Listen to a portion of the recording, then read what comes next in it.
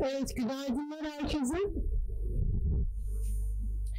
İkinci Uluslararası İletişim Dijitalleşme ve Toplum Sempozyumu ikinci gününde sizlerle birlikte olmanın mutluluğunu yaşıyoruz. Öncelikle herkese katılımlarından ötürü teşekkür ediyorum.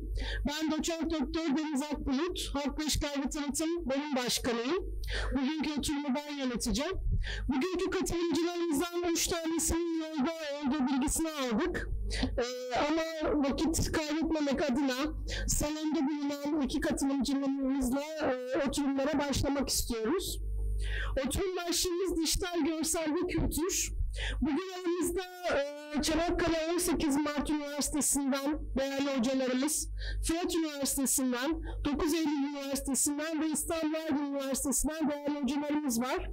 E, burada olan hocalarımızı sahneye davet etmek istiyorum. Öncelikle Çanakkale 18 Mart Üniversitesi'nden gözetim kavramı ve sanal oyun dünyası çerçevesinde bir analiz nerede filmi örneği başlıklı bildirisini sunmak üzere Şafak Hatipoğlu hocamız. Buyurun lütfen.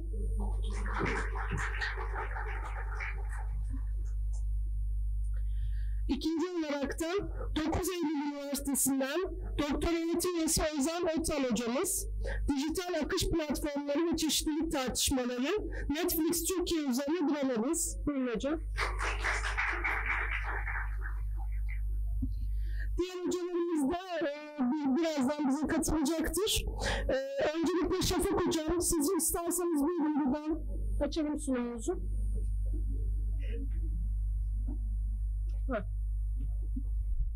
Siz açın hocam şöyle buyurun. Şurada klasörün içerisinde.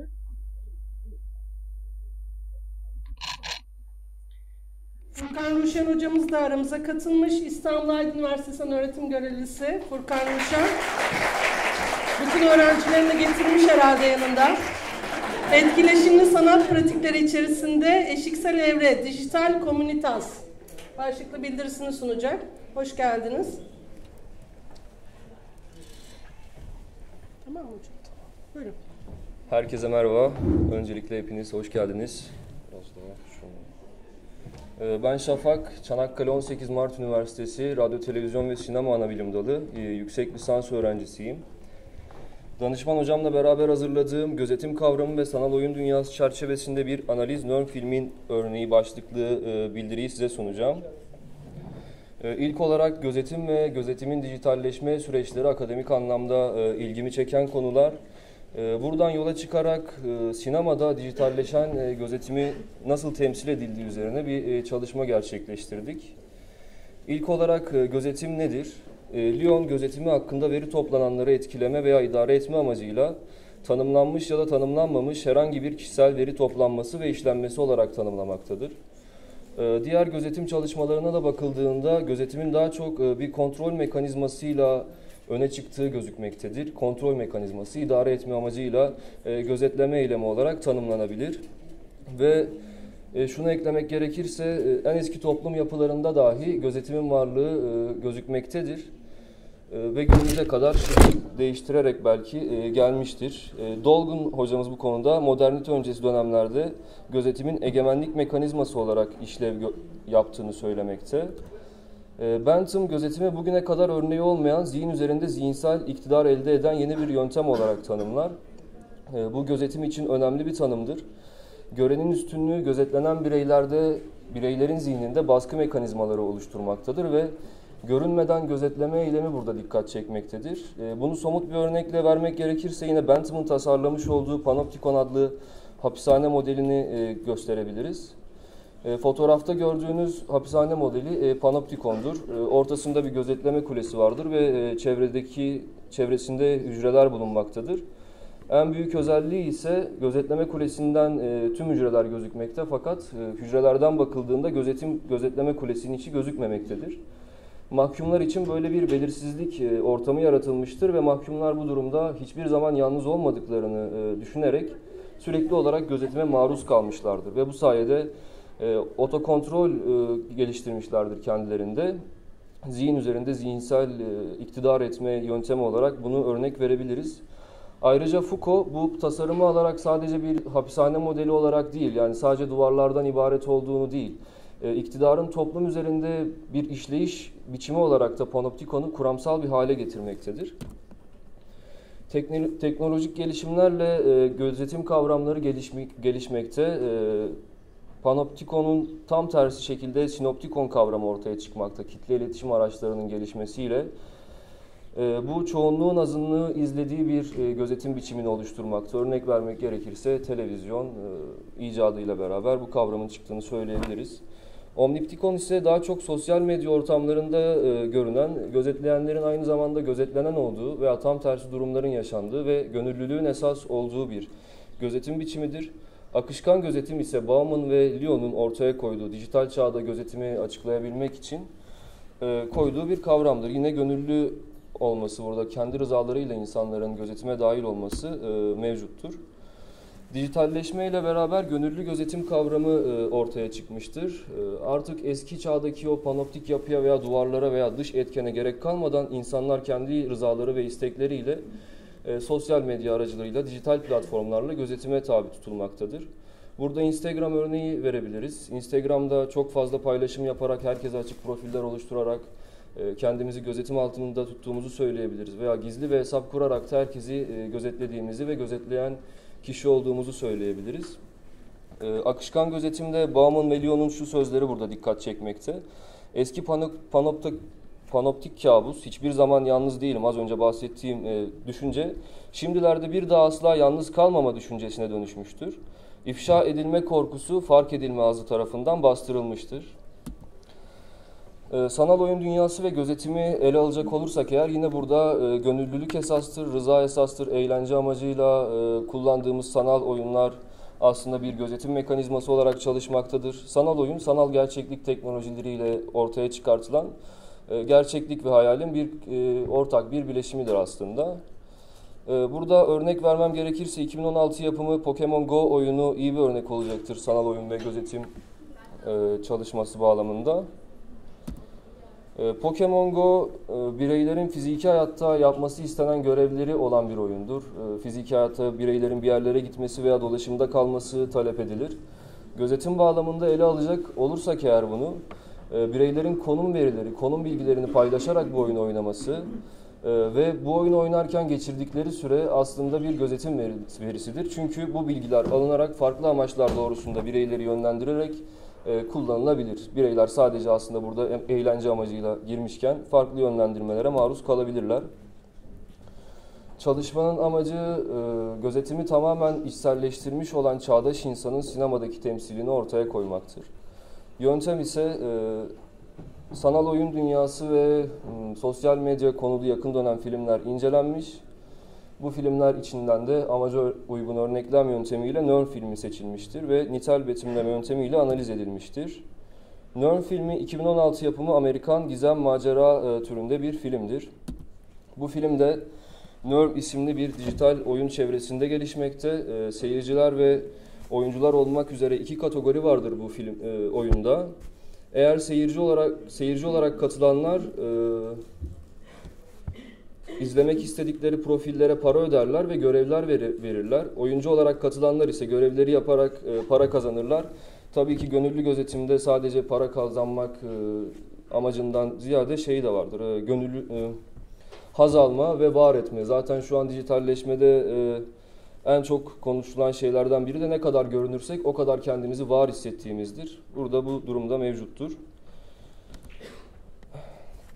Venüs karakteri bizim baş karakterimiz e, zayıf bir karakter olarak temsil ediliyor. Çünkü gözetime maruz kalarak, gözetime kendi rızasıyla girerek daha sonrasında e, sosyal bir karaktere dönüşecektir. Fotoğrafçılık yapması e, bu konuda arka planda kalmış olan bireyin temsili olarak yorumlanabilir.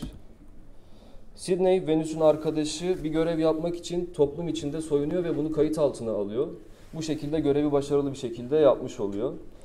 Ee, burada Bauman ve Lyon'un yine şu sözleri var dijital çağda gözetim yorumlarken mahremiyet hakkımızı kendi rızamızla katlettiriyoruz ya da belki sadece bize sunulan harikalar karşılığında ödenecek bir bedel olarak mahremiyet kaybına rıza gösteriyoruz. Bu sahnede gözükmekte ki dijital çağda, e, çağda dijitalleşmeyle beraber gelen gözetimin yeni modeli mahremiyetle e, bazı tartışmalı konular yarattı. Burada temsil edilmektedir bu sahnede. E, diğer bir durumda Venüs özgüvenli bir birey olduğunu kanıtlayabilmek için, e, para kazanabilmek için, sosyal bir birey olmak için e, diğer bireyler gibi gözetime maruz kalır. Kendi rızasıyla oyuna katılmaya karar verir. Burada oyuna katıldığında arayüz Venüs'ün tüm bilgilerini toplar. Burada gözükmektedir ki dijital geçmişimiz aslında gözetim için verdiğimiz birer veridir. Burada aldığı veriler e, alışveriş geçmişi, Facebook'taki beğeni, yorum ve Facebook'taki gönderileri, Spotify hesabında dinlediği şarkılarıdır. Aslında kendi rızamızla yaptığımız e, paylaşımların haz alma düşüncesiyle belki ya da para kazanma düşüncesiyle yaptığımız davranışların birer gözetim verisi olduğu e, bu sahnede vurgulanmaktadır. Diğer bir sahnede Venüs'ten alınan veri, Venüs'ün en sevdiği kitap verisi başka bir e, oyuncuya görev olarak e, verilir. Bir kafede bu kitabı okuması istenir. Yine Venüs e, o kafeye kendisi görev olarak yönlendirilerek tesadüfi bir tanışıklık e, gerçekleştirilir burada. Yani o alınan verinin aslında nasıl insanları yönlendirme konusunda kullanabileceği burada temsil edilmekte. Son sahnede ise Venüs artık isteğine ulaşmıştır. Sosyal bir birey olmuştur, e, para kazanmıştır ve gönüllü gözetime dahil olmuştur ve kendini kendini var etmiştir açıkçası. Dijital çağda kendini var etmiştir. Fakat burada e, bir sorun var. Sosyalleşmeyle beraber ne kadar görünür olursak o kadar da çok e, güvenlik e, sorunları bu sayede doğmakta. Bauman ve Lyon yine şunları söylemekte. Eski çağın panoptik duvarları artık yıkıldı ve her insan kendi panoptikonunu üstünde taşıyor benzetmesi yapmakta burada. Ve yine şöyle bir alıntı var. Zorunluluğun kurbanlarını kovalamasının yerine artık gönüllülerin kölelik fırsatlarının peşinde koşması aldı diye bir alıntı var.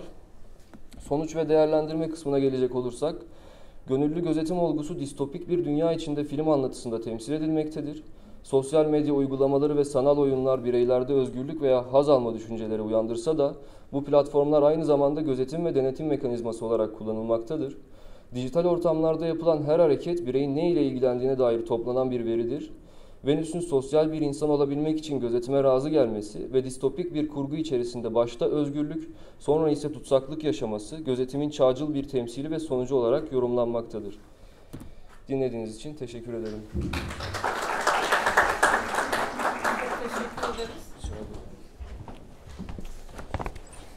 Sayın Şafak Atipoğlu'na çok teşekkür ediyoruz. Süreyi de çok güzel kullandınız. 8 dakika.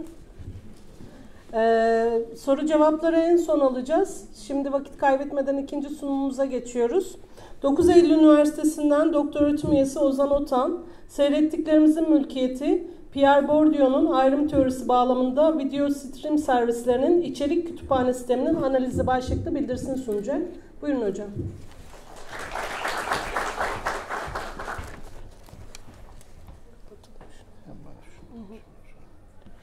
Şeyden preziden. Tamam.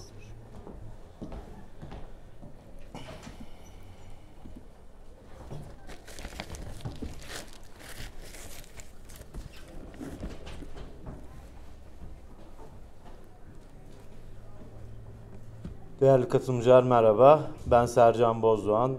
9 Eylül Güzel 9 Eylül Üniversitesi Güzel Sanatlar Enstitüsü Film Tasarım Ana Sanat Dalı doktor öğrencisiyim. E, doktor öğretim üyesi Ozan Otan'la beraber hazırladığımız seyrettiklerimizin mülkiyeti Pierre Bourdieu'nun ayrım teorisi bağlamında video stream servislerinin içerik kütüphane sisteminin analizi başlıklı bildirimi sunacağım.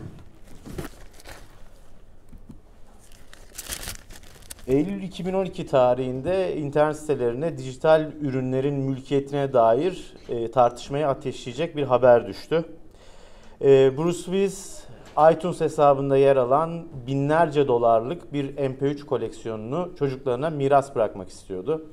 Fakat iTunes servisinin kullanıcı sözleşmesinde böyle bir madde yoktu ve iTunes servisinin sahibi Apple firmasına karşı Bruce Willis bir hukuk mücadelesi başlatacağını söyledi.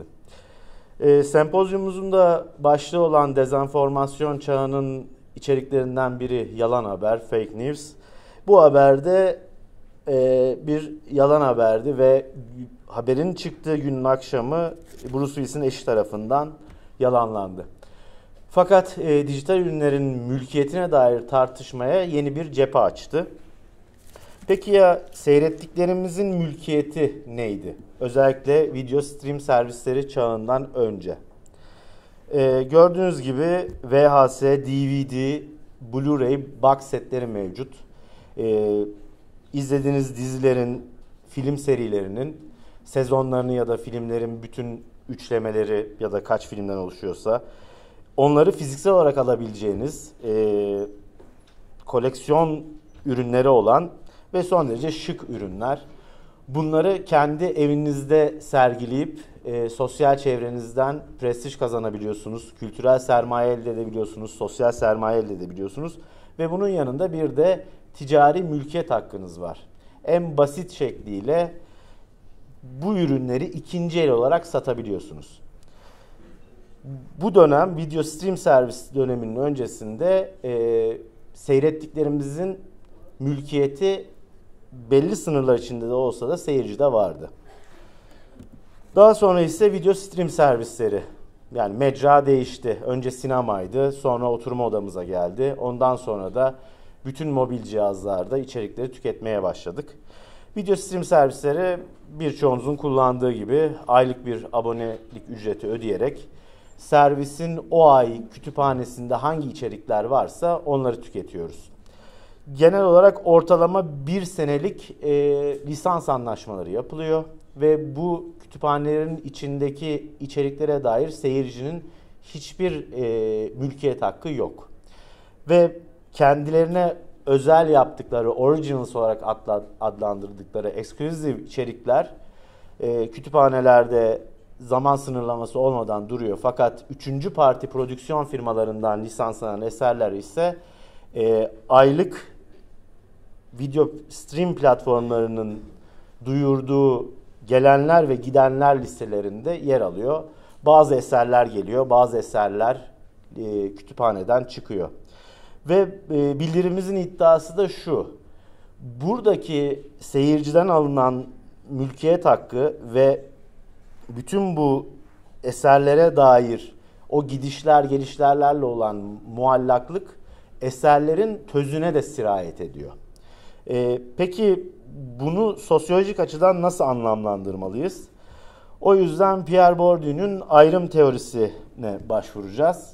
E, Pierre Bourdieu Fransız sosyolog e, 1979 tarihinde Ayrım Beğeni Yargısının Toplumsal Eleştirisi adlı kitabını yazıyor. Beğeni yargısıyla toplumu sınıflandırabilme imkanı veren ayrım teorisinin diğer toplumsal sınıflandırma metotlarından farkı yalnızca üretimi gözeterek iktisadi sermayeyi temel almaması, tüketimi sınıflandırma aracı olarak kullanırken simgesel tüketimi de hesaba katmasıdır.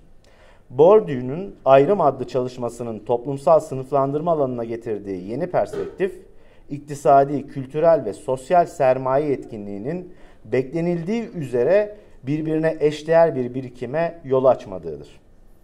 İlgili çalışmanın gösterdiği veriler, iktisadi ve kültürel sermaye dağılımının toplumsal sınıflar arasında asimetrik bir tablo çizdiğidir.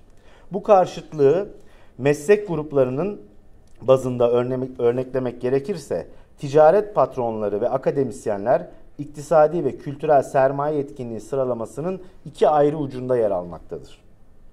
İktisadi sermaye yetkinliğine sahip olmayan toplulukların toplumsal konumlarını koruyabilmek için bir diğer sermaye biçimi olan kültürel sermaye birikimine yönelmeleri gerekir.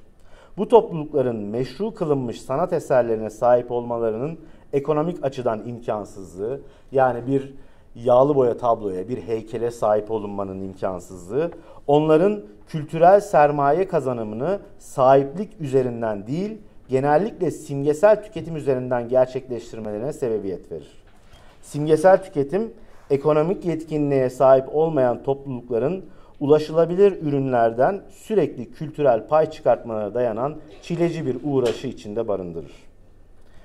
Simgesel sermayenin parçalarından olan prestij, itibar ve benzeri kavramların kazanılmasını sağlayan tanıma, bilme becerileriyle elde edilen sembolik iktidar, kabul görülen iktidara tahvil edilebilmektedir.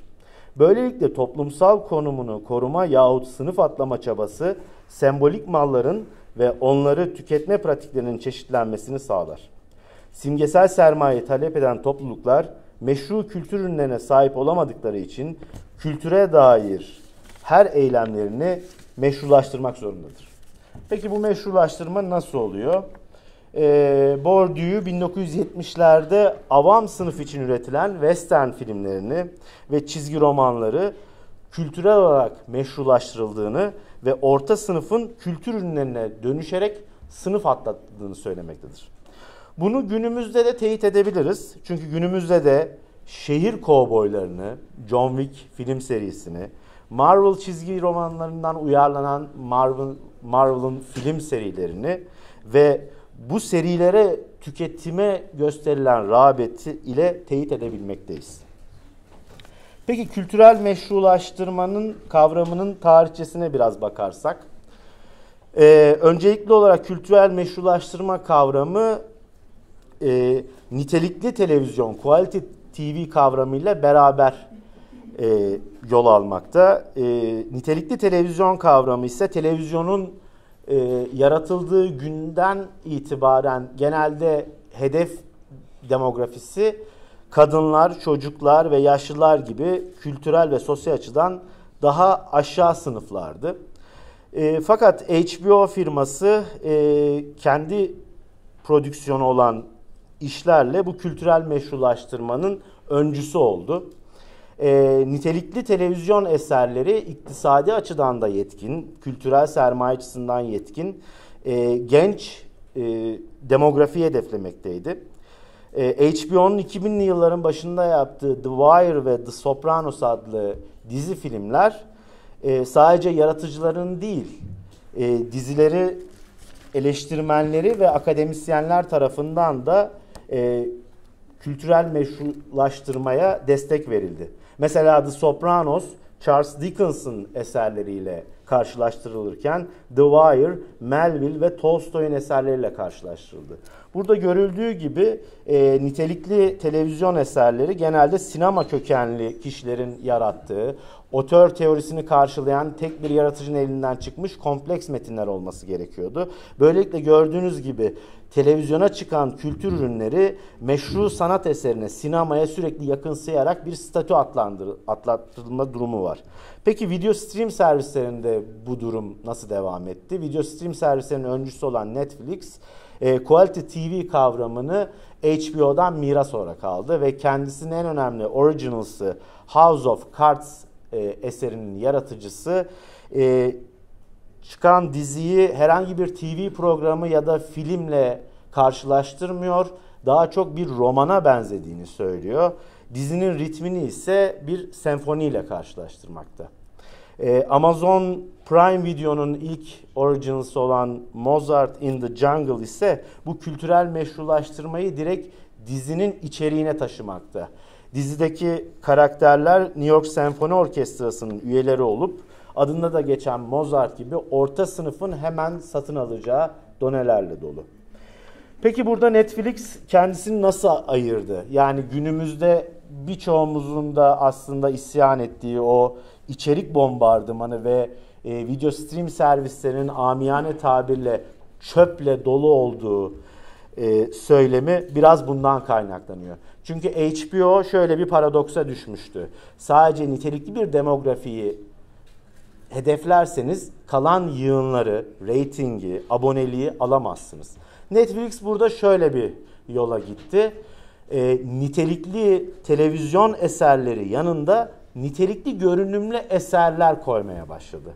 Çünkü söylediğim gibi mecra değişmişti. Teknoloji gelişip maliyetleri düşürdüğü için e, her gün çevremizde görüyoruz. E, mobil telefonlardan, tabletlerden her gün video stream servislerinde e, içerikler tüketiliyor. Ve bu içerikleri tüketenler orta sınıf değil. Daha çok işçiler, öğrenciler, gençler bir sınıf atlama arzusuyla nitelikli televizyon eserlerini tüketecek e, kültürel sermaye yetkinliğine sahip olmasalar da e, nitelikli görünümlü eserle statülerini arttırmaya çalışıyorlar. Bu tabii ki bütün video stream servislerinde izleyicinin mülkiyetinin ortaya kalkması, bu eserlerde olan muallak ve bazen eserleri mesela House of Cards'ın son sezonu e, Türkiye'de Netflix'ten izlenemedi yayın tarihinde. Burada beyin ile anlaşılmıştı ve Netflix aboneleri bunu yakalayamadı. Yani bu bölgesel bazda bile aslında kültürel ve sosyal sermayeyi etkilemekte ve birçok dezenformatif duruma yol açmakta. Ve yine e, sempozyumumuzun başlığını karşılar bir şekilde Disney Plus Atatürk dizi filmi dezenformasyon vakası e, güncelde en önemli örneği. Hatırlarsanız e, bütün tartışma şuradan çıktı. Disney Plus Türkiye lansmanında bir e, 8 bölümden oluşan e, maliyeti 8 milyon dolar olan Atatürk mini dizisini yayınlayacağını duyurdu. Ardından Amerika'daki Ermeni lobisi bu diziyi sosyal medya üstünde yaptığı kampanya sayesinde iptal ettirdiğini söyledi. E, ne yazık ki bu böyle değil. Burada Türk Disney Plus Türkiye'nin çok kötü bir iletişim yönetimi olmasının yanında ne yazık ki e, bu ultra milliyetçilik akımına her iki tarafta katıldığı için aslında var olan ve birçok kişinin bildiği hakikat ortadan kalktı. Gerçek neydi? Şu, e, Covid döneminde Disney Plus çok büyük bir ekonomik krizle karşı karşıya kaldı. E, Covid döneminden önce emekli olan Disney Plus'ın efsanevi CEO'su 15 yıl şirketi yöneten Bob Iger emeklilikten geri döndürüldü. Ve Bob Iger'ın ilk icraatı şuydu. 1,5 milyar dolarlık bir tasarruf yapılacak. Bunu Mart 2023'te bir Q&A'de açıkladı. Mayıs 2023'te ise Amerika'nın Sermaye Piyasa Kurulu'na resmi olarak SEC'ye bildirdiler. Bu ne anlama geliyordu? Disney Plus'ın kendi ücretini ödediği, prodüksiyonunu yaptığı kütüphanesinde şu an yayınlanan eserlerin hepsi write-off denilen yani zarar yazmak anlamına gelen ve kütüphanelerden düşürülerek aslında vergi indirimi sağlamaktı. Ama e, post-truth döneminde yani dezenformasyon çağında ne yazık ki herkesin kendi bir hakikati var. Gerçek hakikat alanı çalışanlar ve sektörle ilgililer zaten bunun böyle olacağını biliyordu. Tamamdır hocam. Ee, diğer eserlerde ulaşamıyorsunuz şu an Disney Plus'ta yani e, ki Ermeni lobisinin herhalde Recep İvedik 7 ya da Bursa Bülbülü ile bir derdi olduğunu zannetmiyoruz. Çünkü onlar da şu an yok. Yerli hiçbir içerik yok dünyanın diğer lokal taraflarında. Ee, Bruce Willis şu an 69 yaşında. E, afazi ve demans hastalığıyla mücadele ediyor. Konuşma yetisini kaybetti, hafıza problemleri var ve oyunculuktan emekli oldu. Ee, ilk bildirinin başlığında, başlangıcında ifade ettiğim dijital ürünlerinin mülkiyet ve miras hakkına şu an her zamandan daha fazla muhtaç. Ve bir yandan da Bruce Willis'in temsil ettiği sinema, yani başrolünü oynadığı Armageddon, Zor Ölüm, Altıncı His gibi filmlerin olduğu o sinemada öldü. Artık onlar yok. Mecra değişti önce sinema salonlarında akit yaparak yüzlerce kişinin sessiz bir şekilde iki saat boyunca bir film izlemesi bitti. Bu oturma odalarımıza taşındı ve şu an seyirci çok daha aktif. Seyirci bir küratör ne izleyeceğini seçiyor, ne zaman izleyeceğini seçiyor ve hangi mecrada bir mecradan diğerinde devam edebiliyor. O yüzden bu yeni dönemde aslında artık sanat eseri nedir, kültür ürünü neye denir Bunları tartışmamız gerekiyor. Sözlerimi bitirirken e, sempozyuma ev sahipliği yapan İstanbul Aydın Üniversitesi İletişim Fakültesine, e, sempozyum komitesine, e, oturum paydaşlarıma ve beniminiz için sizlere teşekkür ederim. Sayın Sercan Bozdoğan'a çok teşekkür ediyoruz. Sağ olun. Bu arada e, Fırat Üniversitesi'nden doçent doktor Süleyman İlaslan, geldiler. Hoş geldiniz. Bayağı uzaktan geldiniz hocam. Hiç önemli değil. Ee, yine İstanbul Üniversitesi'nden Çağdaş Elverişli. Hoş geldiniz. Siz yokken biz bir sıralama değişikliği yaptık. Ee, şimdi öğretim görevlisi Furkan Ruşen hocamı davet edeceğim. Hocam, önüne gelseydiniz keşke. Buyurun. Merhabalar. Ee, öğretim görevlisi Furkan Ruşen ben. İstanbul Aydın Üniversitesi Grafik Tasarımı programında öğretim görevlisiyim ve Yıldız Teknik Üniversitesi Sanat Tasarım programında doktora öğrencisiyim. E, bugünkü çalışmada etkileşimli sanat pratikleri içerisinde antropolojik bir kavram olan komünitas kavramı sorgulanabilir mi? Onu gözlemleyeceğiz. Tabii.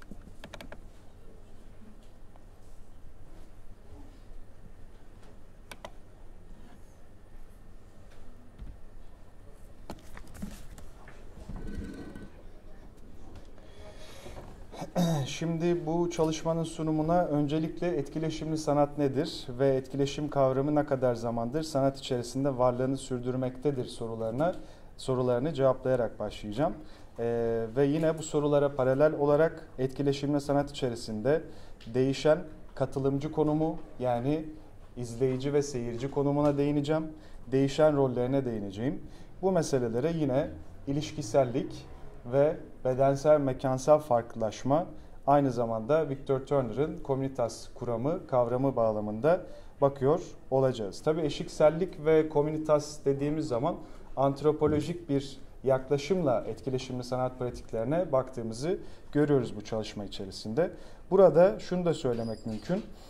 1960 sonrasına baktığımız zaman disiplinler arası çalışmaların olduğunu görüyoruz. Bu çalışmada da yine aynı şekilde etkileşimli sanat pratikleriyle antropolojik yaklaşımlar, antropolojik alan iç içe girmiş durumda olduğunu ve disiplinler arası bir çalışma ortaya konulmuş olduğunu görmekteyiz. Yani bu çalışma bağlamında melez bir yapı, eklektik bir okuma sunuyor olacağım.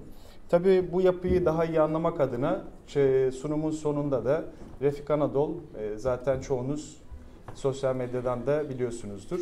Bir e, sanat işiyle örneklendirmeye çalışacağım. E, toplumu, bireyin kendisini, mekanı ve çevreyi kapsayan etkileşimli sanatta disiplinler arasılıktan, çoklu ortamlardan, tamamlanmamış sanatsal formlardan ve sanatçı dehası, bireyselliği, öznelliğinden ziyade katılımcının etkisiyle değişebilir anlamlara açık insan merkezli tasarım ortamlarından bahsetmek mümkündür. Bu sebeple de çalışmada bahsettiğim üzere disiplinler arası bir okuma yapılmış ve etkileşimli sanat pratikleri içerisindeki katılımcıya farklı bir bakış açısı ile bakılmıştır. Tam bu noktada Victor Turner'ın eşiksellik süreci ve komünitas kavramlarından birliktelik içerisinde olan katılımcıların bir aradalığı hakkındaki düşüncelerinden bahsedeceğim. Bu düşünceler bağlamında çalışmada antropolojik bir bağlam ile katılımcı konumunu düşünmek önerisi sunulacaktır. Ve çalışmanın yöntemine baktığımız zaman da literatür taraması yöntemi kullanılmıştır. Şimdi ilk olarak etkileşimli etkileşimle ilgili kuramsal yaklaşımlara baktığımız zaman aslında bunun sosyal bir süreç olduğunu görüyoruz ve özellikle 1960 sonrasındaki postmodernizmin etkisiyle birlikte e, bu sosyalliğe verilen önemin arttığını görmekteyiz. Yani daha fazla katılımcı meselesi düşünülüyor. Daha fazla izleyici ve seyirci işin içine dahil oluyor.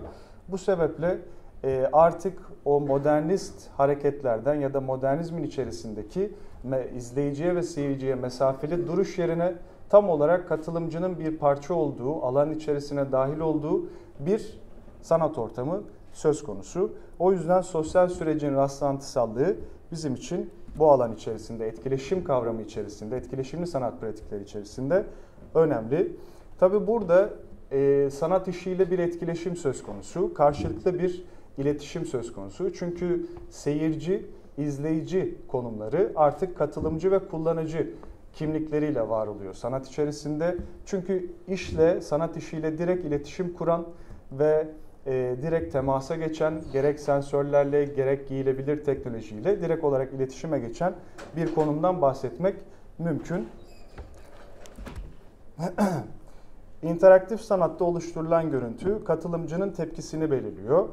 Katılımcının tepkisi de görüntünün değişimini sağlıyor. İnteraktif sanatta bu etkileşimlerin artması katılımcının deneyimlerini geliştiriyor. Yani sadece bir galeriye gittiğimiz zaman e, yağlı boya tabloya bakmaktan ziyade artık bizler katılımcı konuma geçerek direkt olarak sanat yapıtıyla temas haline girebiliyoruz, iletişim kurabiliyoruz, etkileşime geçebiliyoruz gerek dokunmatik ekranlarla gerek sensörler vasıtasıyla görsellerin değiştiği bir mekan e, ya da bir bedensel performans söz konusu olduğunu söyleyebiliriz.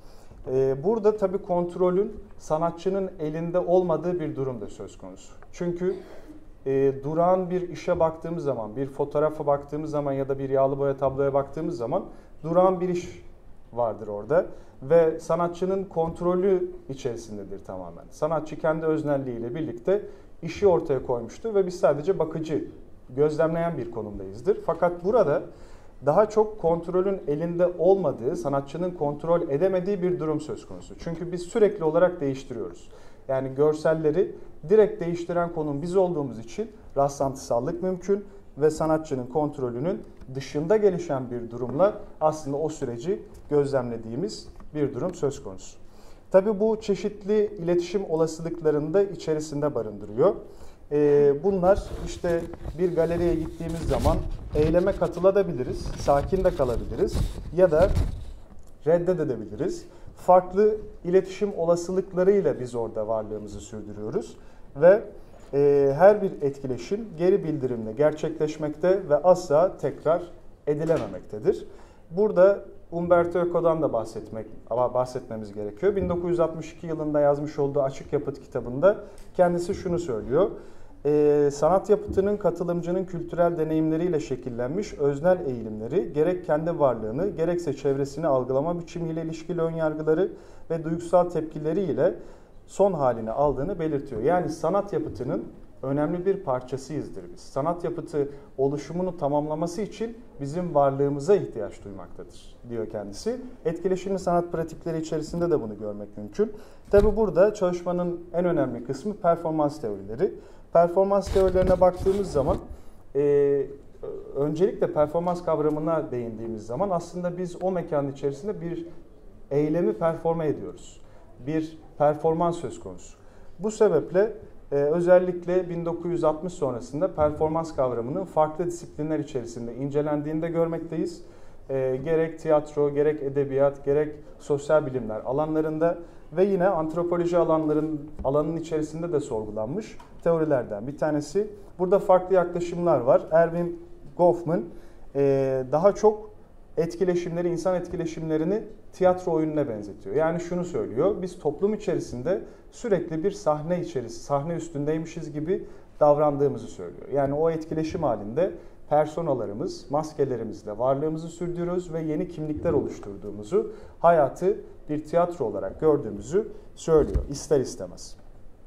Judith Butler ise daha çok cinsiyet ve kimlik performansı üzerine çalışmalarıyla tanınıyor.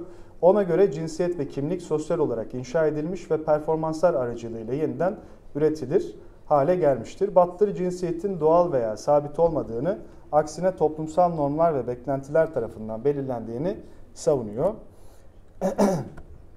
Richard Sackner ise daha çok performansı kültürel bir etkinlik olarak inceleyen kuramcılardan bir tanesi. Tabi çalışmada önemli bir kuramcı Victor Turner.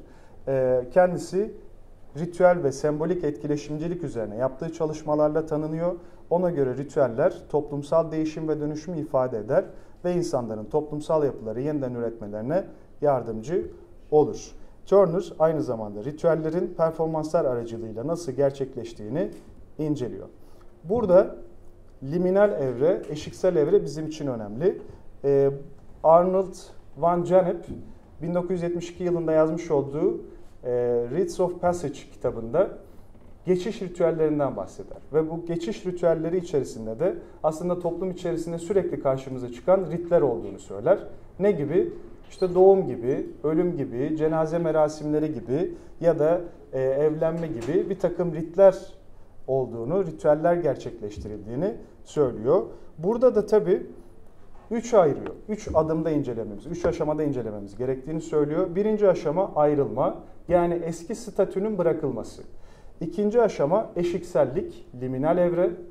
Üçüncü aşama ise e, bütünleşme evresi. Buradaki aşamalar etkileşimli sanat pratikleri içerisinde sorgulandığını görüyoruz bu çalışmanın içerisinde. Yani çalışmanın amacı, önemi burada. İlk olarak etkileşimli sanat pratikleri katılımcısı mekanın dışındadır ve eski gündelik yaşamından sıyrılmıştır. Sıyrılmaya çalışıyordur.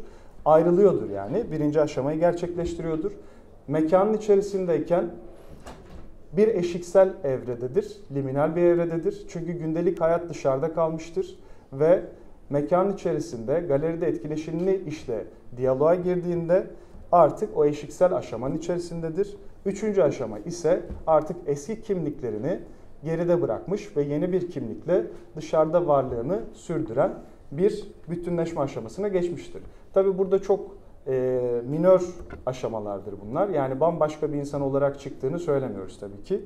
E, daha çok farklı bir deneyim kazanmış bir katılımcı olarak hayatına devam ediyor. Yani burada etkileşimli sanat pratikleri içerisinde bu üç aşamada sorgulanabilir. Burada eşiksel evrelerden bir tanesi benim Salt Galata'da çekmiş olduğum bir fotoğraf. Ee, burada görmüş olduğunuz gibi sanki bir ritüeli gerçekleştiriyor katılımcılar. Işık, alttan ışığın yansıdığı bir masa var ve üzerinde desenler oluşturulmuş masanın. O desenleri bir kağıt kullanarak e, katılımcılar çiziyorlar. Toplanmışlar bir ışığın etrafına. Yani burada da ritüel pratikleri görmek ve performansa dair bir şeyler okumak mümkün olduğunu görmekteyiz. Ee, burada tabii eşiksel evrenin içerisinde komünitas kavramına denk geliyoruz. Victor Turner'ın yaklaşımlarına baktığımız zaman Turner bu günlük yaşam baskılarından kurtuluşu karşı yapı ve ritüel yoldaşlık tecrübesinde komünitas olarak nitelendirir. Yani komünitas da şu birlikte olma halinden duyulan arzu diyebiliriz. Orada bunu her alanda da kullanabiliriz. Mesela bir müzik festivaline gidiyorsunuz. Orada da bir birlikte olma hali vardır. Orada da farklı kişilerle, farklı katılımcılarla yine bir birlik içerisindesinizdir. Ve orada da bir müzikal komünitas vardır. Ee, burada bu çalışmada da öne sürdüğüm şey dijital komünitas. Yani etkileşimli sanat pratikleri içerisinde, dijitalin içerisinde, teknolojinin olanaklarının kullanıldığı sanat işlerinde komünitas kavramı sorgulanabilir mi üzerine bir çalışma olduğunu tekrardan hatırlatmak gerekiyor. E, Refik Anadolu'nun Alkazar Rüyası adlı çalışmasında yüzden fazla eski Yeşilçam filmi kullanılıyor. Tabi bunlar yapay zeka teknolojisiyle geliştirildiği işleniyor. Geçmiş ile geleceğin aslında buluştuğu bir iş bu. E, mekanın içerisinde çok güçlü projeksiyonlar var ve çok güçlü sensörler var. Mekanın içerisine giren katılımcı görmüş olduğunuz gibi hareketiyle birlikte sensörlere bağlı olarak görselleri oluşturuyor. Yani adımınızı attığınız anda farklılaşan görmüş olduğunuz gibi sarı e, formlar ortaya çıkıyor ya da farklı renkler ortaya çıkıyor. Aslında sanat işinin tam olarak içinde yer alıyor katılımcı. Burada bir video ile destekleyelim.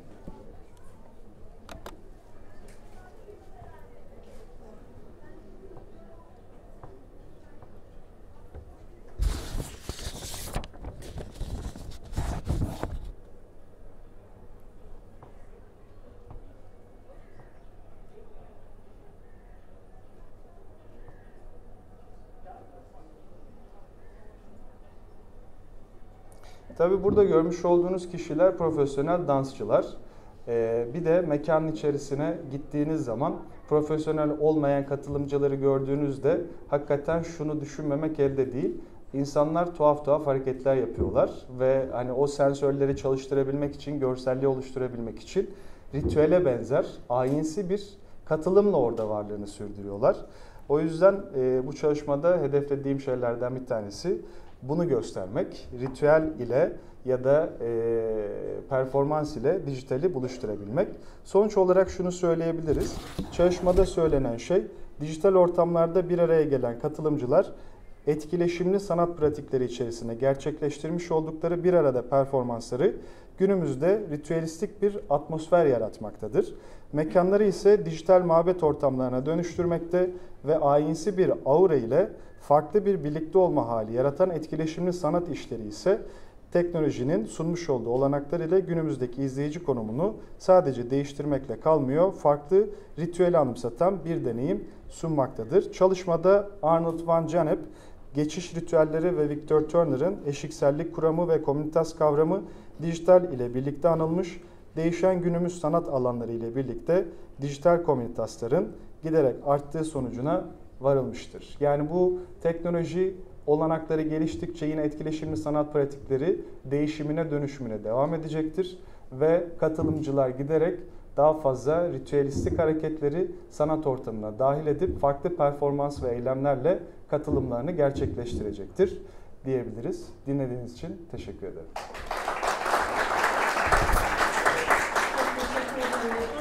Ee, şimdi Fırat Üniversitesi'nden doçent doktor Süleyman İlhaslan hocam buyurun. Dijital akış platformları ve çeşitlilik tartışmaları Netflix Türkiye üzerine bir analiz başlıklı sunumunu gerçekleştirecek.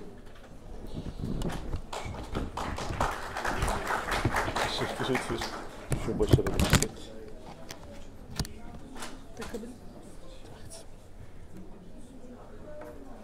Nasıl çıkacağız?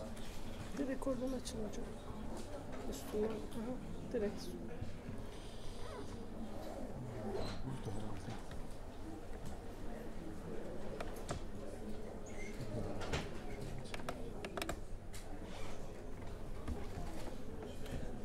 Tamam.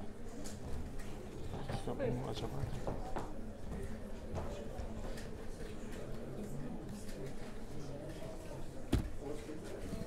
Evet merhabalar herkese öncelikle. Ee, Süleyman İlhaslan ben, Fırat Üniversitesi e, İletişim Fakültesi'nde Radyo Televizyon Sinema bölümünde görev yapmaktayım. Ee, akış platformları e, üzerine son dönemde çalışıyorum aslında. Ee, daha öncesinden e, televizyon yayıncılığı, radyo yayıncılığı üzerine e, çalışmalarım e, bulunmakta ama son dönemde e, pardon. Arkadaki arkadaşlar biraz ses olabilir miyiz? Şimdi geliyor mu? Evet, tamam. Teşekkürler. Ee, dediğim gibi yani yayıncılık üzerine temel bir e, ilgim var. Ee, radyo yayıncılığı, televizyon yayıncılığı üzerine e, temel bir ilgim var. Son dönemde de e, biraz akış platformlarına e, merak salmış durumdayım. E, bağlantılı olarak aslında. E, tabii ki e, akış platformlarının da aslında daha e, genel bir çerçeveden e, televizyon endüstrisi içerisinde, televizyon yayıncılığı alanı kapsamında değerlendirildiğini e, biliyoruz. En azından bağlantılı olarak e, değerlendirildiğini biliyoruz. Dolayısıyla ben de bu akış platformlarının nasıl ele alındığı, nasıl tartışıldığı, bunun daha önceki endüstriyel yapılanma biçimleriyle, televizyon yayıncılığıyla ya da o geleneksel dediğimiz tırnak içerisinde yayıncılık biçimleriyle nasıl bir dönüşüm geçirdiği üzerine bir ilgiden hareket ediyorum aslında. E, Dolayısıyla burada tabii ki e, bu bizi daha temel yani yayıncılığı da okurken, e, platformları da okurken aslında daha temel kavramsal, kuramsal tartışmalara e, götürüyor. E, Dolayısıyla da burada gerek e, içeriklerden e, ekonomik yapıya ya, da yani o kültürel unsurlardan e, ekonomik unsurlara kadar uzanan unsurların e, ya da öğelerin e, ya da yapılanmaların, kurumsal yapılanma biçimlerinin e, daha genel temelde perspektiften ele alınabileceği e, noktasından e, hareket edebiliriz e, düşüncesine sahibim. Bu anlamda da aslında o ekonomi politikten tutun da e, kültürel yaklaşımlara, kültürel çalışmalara kadar uzanan farklı pers- perspektiflerden e, bu alanın ele alındığını görüyoruz. E, akış platformları da bu e, temelde yine e, değerlendirilmekte aslında. Burada tabii e, daha temelde yani o ticari yapılanma biçimi, ekonomik olarak devam ettiğimizde mesela e, o ticari yapılanma biçiminin, kurumsal yapılanma biçimlerinin yani kamu e, yararı, kamu çıkarı ya da kültürel ürünlerin üretilmesindeki temel kaygılar, temel çıkarlar, temel amaçlar, bunların tüketilme biçimleri ne kadar uzanan aslında birçok unsurun farklı biçimlerde tartışılabileceğini görüyoruz.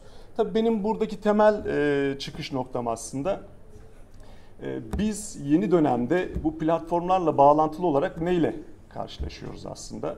E, tüketim biçimlerimizi e, ya da etkileşim biçimlerimizi ya da karşılaşma biçimlerimizi bu platformlar nasıl değiştiriyor, nasıl dönüştürüyor? Bu platformların dolayısıyla e, kendi e, kurumsal yapılanma, işleyiş biçimleri, e, o ekonomik e, işleyişleri ya da e, sektörel anlamda nasıl bir değişiklik gösteriyor ya da nasıl farklılaşıyor gibi birçok soruya e, götürüyor bu bizi. E, ama ben burada temel olarak çeşitlilik e, kavramından e, yola çıkıyorum.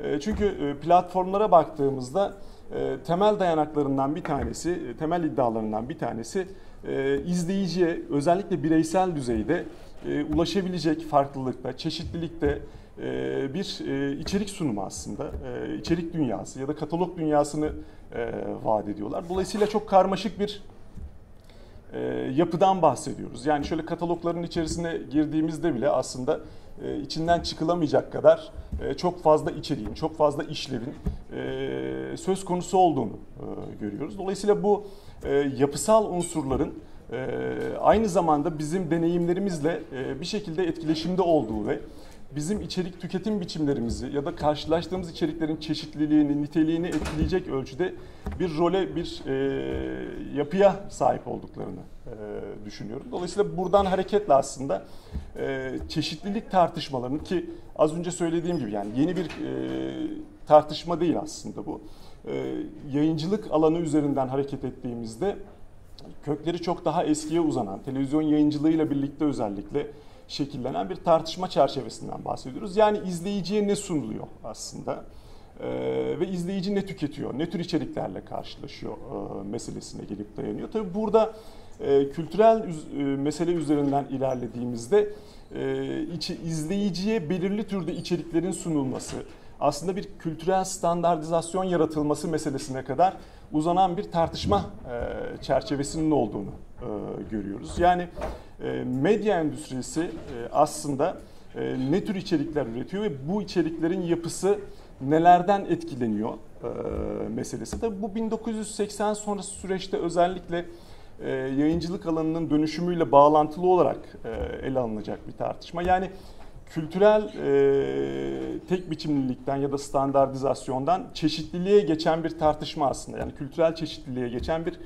e, tartışmayı da takip ediyor. Tabii burada e, bu tartışmalar e, az önce söylediğim yine daha genel temel e, unsurlarla bağlantılı olarak yani o e, neoliberal politikalarla medya endüstrisinin dönüşmesi, izleyicinin ön plana çıkarılması, seçme özgürlüğü gibi kavramların ön plana çıkartılması aslında yine bu gelişmelerle bağlantılı olarak yani çeşitlilik tartışmalarıyla bağlantılı olarak karşımıza çıkan gelişmeler. Dolayısıyla ben burada aslında tabii ki temel olarak yani az önce söylediğim yani platformlar çok karmaşık bir yapı. Tabii ki hepsini bir anda analiz etmek, bütün boyutlarına bakmak imkansız. Dolayısıyla çeşitlilik kavramı da en az onun kadar kapsamlı ve karmaşık bir kavram olarak karşımıza çıkıyor. Dolayısıyla ben burada sadece e, belli bir hat üzerinden ilerlemeyi tercih ediyorum ve sunum çeşitliliği üzerinden aslında. E, yani bize ne sunuyor bunlar, e, bu platformlar ve biz neyle karşılaşıyoruz aslında? Bunun üzerinden bir izlek takip edilebileceğini e, söylüyorum. Birazdan o çeşitlilik meselelerinde de yani çeşitliliğin nasıl ele alındığı, hangi boyutlar üzerinden ele alındığına baktığımızda da aslında bu karmaşık yapıyı belki biraz daha e, üzerine konuşabiliriz. Tabi burada e, SWOT'ların nasıl bir değişim, değişim yarattığı, yani o abonelik temelli e, platformların, izleme, akış platformlarının nasıl bir değişim yarattığı endüstriyel anlamda önemli. E, artık o kitle kavramının e, değiştiği, parçalı izleyici kavramının ortaya çıktığı, izleyici beklentilerinin, izleyici tercihlerinin, isteklerinin ya da taleplerinin ön plana çıktığı ki isminde de zaten talep üzerine video e, sistemleri e, aslında. Dolayısıyla e, temel vurgusu bizim talebimiz üzerine.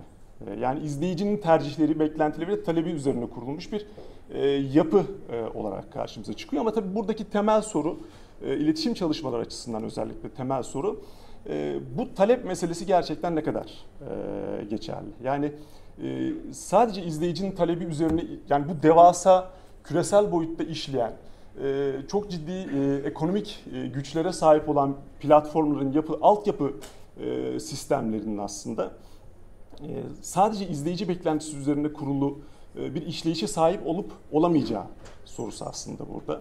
Ya da bütün işleyişin, bütün akışın, e, bütün içerik üretim mantığının sadece izleyici e, tercihi üzerinden işleyip işleyemeyeceği sorusu karşımıza çıkıyor. Tabi burada işi sadece izleyici tercihine bırakmak e, ve bütün unsurlar yani sunulan bütün unsurları, üretilen bütün unsurları ve dolayısıyla da bu çeşitlilik meselesini de sadece o tercih üzerinden tanımlamak aslında biraz endüstriyel boyutu atlamamızı da görme, gözlerden saklıyor diyebiliriz ya da en azından. Çünkü orada çok ciddi bir işleyiş, çok ciddi bir kürasyon sistemi, üretim sistemi söz konusu. Yani tesadüfen aslında o içerikler karşımıza çıkmıyor. Ya da sadece benim beklentim üzerinden o içerikler e, üretilmiyor. Dolayısıyla endüstri topladığı verilerle bireyi tabii ki dikkate alarak, izleyiciyi dikkate alarak, alarak e, içeriklerini üretiyor.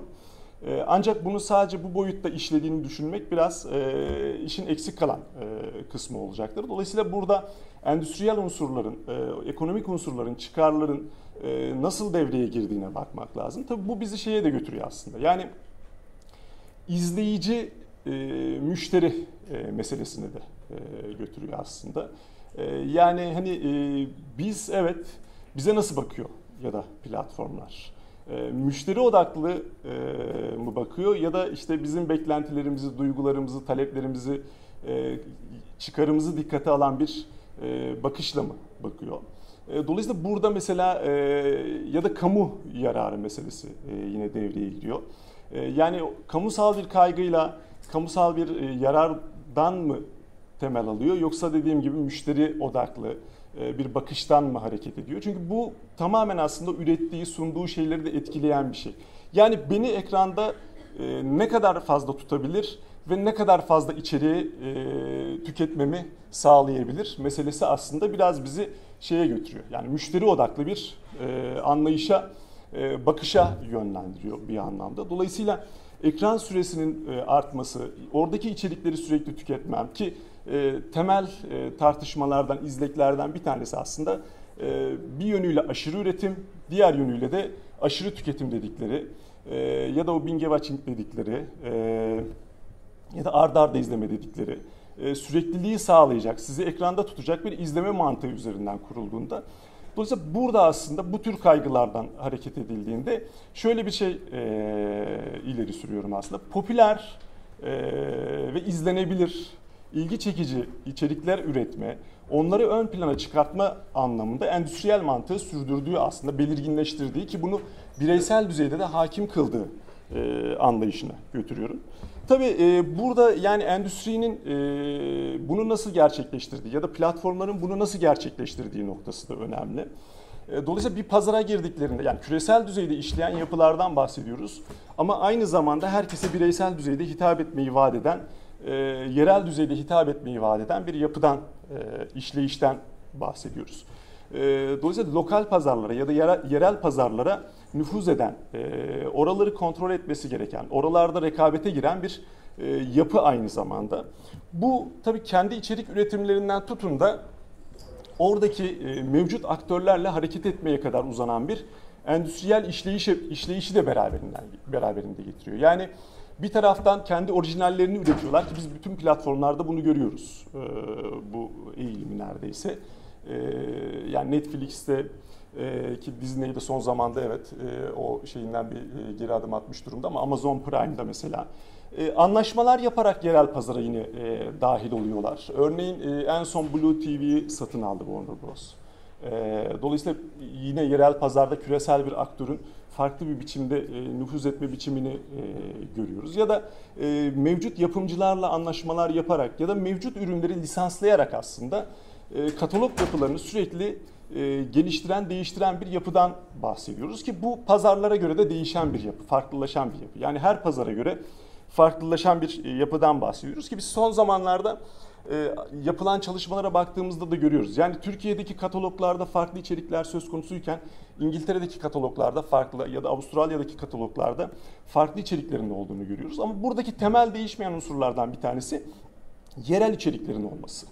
Yani yerel içeriklerin de kullanılıyor olması. Çünkü o temel bir e, pazar stratejisi ya da pazarlama stratejisi olarak mevcut pazarda mevcut izleyiciye ulaşma stratejisi olarak e, uygulanıyor, e, uygulandığını görüyoruz. Ama burada tabii ki biz yani bu çeşitlilikle nasıl e, ilişkili bir şey? E, aslında o çeşitlilik meselesiyle e, şöyle bağlantılı. Yerel pazarlarda e, yerel unsurların olması e, aslında küresel bir e, firmanın e, farklı içerikleri barındırdığı vurgusunu meşrulaştıran, çeşitli yani o çeşitliliği sağladığı vurgusunu meşrulaştıran bir unsur olarak e, karşımıza çıkıyor. Tabi burada e, Çeşitlilik meselesinde belki şunu söyleyip e, bir önceki slayta da e, oradan tekrar dönebiliriz. Hocam son iki dakikanız kaldı. Öyle mi? Ya ben de aldım kusura bakma. O zaman hızlıca. E, çeşitliliği nasıl ele alıyorlar? Çeşitlilik, üretim, dağıtım ve sunum, temsil e, ve tüketim boyutları üzerinden aslında değerlendirilebilir. E, dolayısıyla başta söylediğim gibi çok kapsamlı, karmaşık bir kavramdan bahsediyoruz aslında. Çok boyutlu bir kavramdan bahsediyoruz. Yani üretilen içeriklerden tutun da e, bu içeriklerin nerede nasıl dağıtıldığına kadar birçok unsur ve benim neyle karşılaştığıma e, etki eden teknolojilere kadar aslında. Çünkü ben izlerken bir teknolojiyle etkileşim haline giriyorum ve o benim tercihlerimi yönlendiriyor. İşte e, bana ana ekranında belli içerikleri sunuyor. E, öneriler getiriyor ki talep üzerine dediği şey aslında böyle bir şey. Çeşitli öneriler yani bunu izledim bunu da izleyebilirsin. Bunu da beğenebilirsin ya da bu, senin gibi bunu beğenenler şunu da beğendiler buna da bir göz at istersen gibi aslında birçok teknolojiyle benim tercihimi, isteğimi de yönlendirebilecek bir e, çeşitliliği, e, çeşitlilik e, vurgusuna sahip diyebiliriz. Ya da temsil, yani ürettiği içeriklerde kimi nasıl, ne kadar gösteriyor, ne kadar ön plana çıkartıyor meselesi. Tabi burada dediğim gibi bu boyutların her birisi aslında e, üzerine ayrı bir tartışma geliştirecek, çeşitlilik üzerinden de devam edilebilecek, takip edilebilecek unsurlar olarak karşımıza çıkıyor. Ama ben bir ön çalışma gibi aslında küçük bir e, araştırma da gerçekleştirdim bu kapsamda. Ve Netflix'in kataloğu üzerinden bannerlarına, ana bannerına ne çıkarttığına e, bakarak bir değerlendirme yaptım. Tabii ki dediğim gibi yani bu e, benim burada söyleyeceklerim, söylediklerim aslında bu baktığım kısımla ilgili. Yani kataloglara baktığımızda çok daha karmaşık yapıları olduğunu görüyoruz. Dolayısıyla bütün kataloğu değerlendirmek için daha kapsamlı bir e, analiz e, gerekmekte ama ben bannerlar üzerinden değerlendirdim. Yani ana ekrana ne çıkartıyor ve ne öneriyor? E, buna e, bakarak bir değerlendirme yaptım. 12 günlük bir e, süreç üzerinden o ana ekranı e, takip ettim aslında ve dolayısıyla buradaki sunum çeşitliliğini nasıl yani coğrafi olarak, üretim olarak, üretilen içerik olarak, e, menşei olarak ya da nasıl farklılaştığı, nasıl gerçek ya da kendi üretim olarak nasıl farklılaştığı üzerinden bir değerlendirme yaptım. İki profil üzerinden aslında. Birisi aktif izleme yaptığım, birisi de e, yeni oluşturulmuş bir profil olarak e, şekillendi. Yeni oluşturulan profilden izleme e, yapmadım. Hiç izleme yapmadım. Ama tabii burada algoritmik sistemi düşündüğümüzde sürekli bütün ortak bir veri toplama biçimi olduğunu da unutmamamız lazım. Yani ben izleme yapmasam da aslında oradan bir şekilde e, veri toplayarak e, ona göre bir e, sunum biçimi de geliştiriyor. Tabii burada benim izleme yaptığım kısımda baktığımda aslında bu 12 içerikten 8 tanesi uzun metrajlı, bir tanesi reality, bir tanesi belgesel, biri dizi, bir de kısa film olduğunu gördüm. Bu benim tercihlerimle de şekillenen bir şey. E, ve dolayısıyla burada aslında türsel çeşitliliğe baktığımızda mesela e, tür olarak ağırlıkla uzun metraj e, filmlerin ön plana çıkarıldığını yani bu ilk izleme biçiminin profilinde e, olduğunu görüyoruz. Buradaki 8 e, 12 içerikten 8 tanesi kendi orijinal içeriği. Aslında bu da benim e, yola çıktığım temel düşünceyle örtüşen bir e, bulgu. Yani çeşitliliği tanımlıyor ama kendi şeyi içerisinde tanımlıyor özellikle. Yani kendi ürünleri, kendi üretimi üzerinden bir e, tanımlama biçim, biçimi geliştiriyor. E, bunu da görüyoruz aslında. Banner'a çıkarttığı içerikler, evet farklı türde içerikler de söz konusu. Ama ağırlıkla kendi içerikleri. Yani ve kendi popüler içerikleri, içerikleri olduğunu görüyoruz ki bunu diğer profilde de görüyoruz aslında. E, izleme yapılmayan profilde de görüyoruz. Orada da benzer şekilde e, ağırlıklı olarak kendi içeriklerini ön plana çıkartıyor ve ikinci profilde aslında daha ilginç bir şey var e, bu ön plana çıkarttığı içerikler daha popüler içerikler. Yani e, işte e, Breaking Bad gibi, The Walking Dead gibi e, tüm dünyada bilinen, popüler, izleyici ekrana çekebilecek, dolayısıyla nitelikli türden konumlandırdığı, e, çok izlenmiş, e, IMDB puanları çok çok yüksek olan çünkü bunlar da aslında e, o izleme kriterlerinin bir parçası olarak ya da izleyici çekme kriterlerinin bir parçası olarak karşımıza çıkıyor. Bunların olduğunu e, görüyoruz. Dolayısıyla ee, burada aslında e, yani bu tür çeşitliliği e, ve sunum çeşitliliğinin e, o ekonomik kaygılar, endüstriyel pratikler ve kurumsal çıkarlardan bağımsız düşünülemeyeceğini gösteren küçük bir bulgu olarak değerlendirilebilir bu.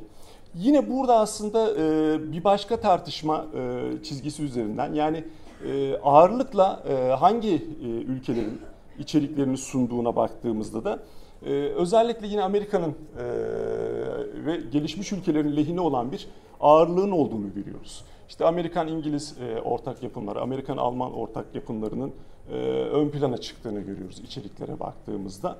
E, bu da aslında bizi daha başka tartışmalara kadar götüren, yani o akış, kültürel akış tartışmalarına kadar götüren e, ve kültürel alanda kimin egemenliğinin söz konusu olduğu, sürdürüldüğü tartışmalarına kadar götüren bir e, çeşitlilik e, işleyiş olarak karşımıza çıkıyor. Yani içerikler de biz e, ne tür çeşitlilikte içeriklerle karşılaştığımıza baktığımızda aslında bunun da gelişmiş ülkeler lehine özellikle de Amerikan endüstrisinin ürettiği içerikler lehine çerçevelenen bir yapıda olduğunu görüyoruz diyebilirim. Belki hızlıca toparlarsam. Evet.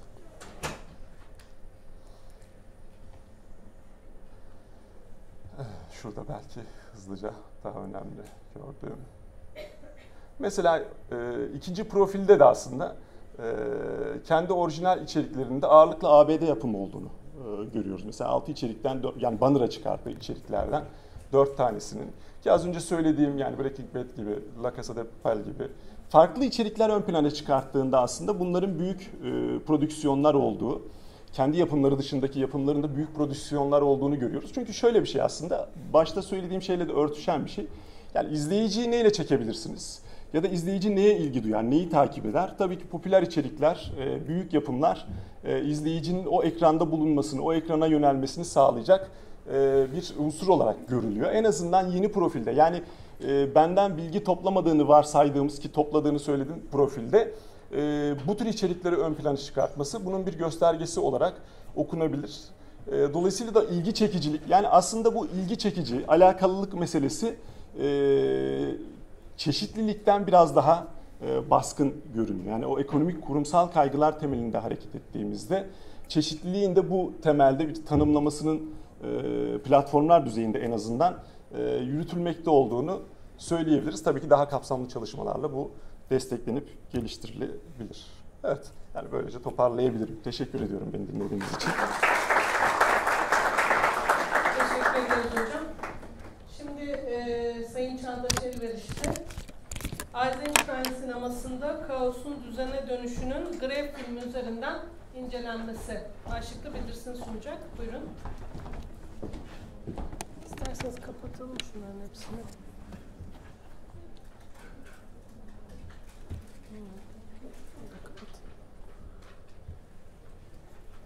Şurada. Tamam hocam.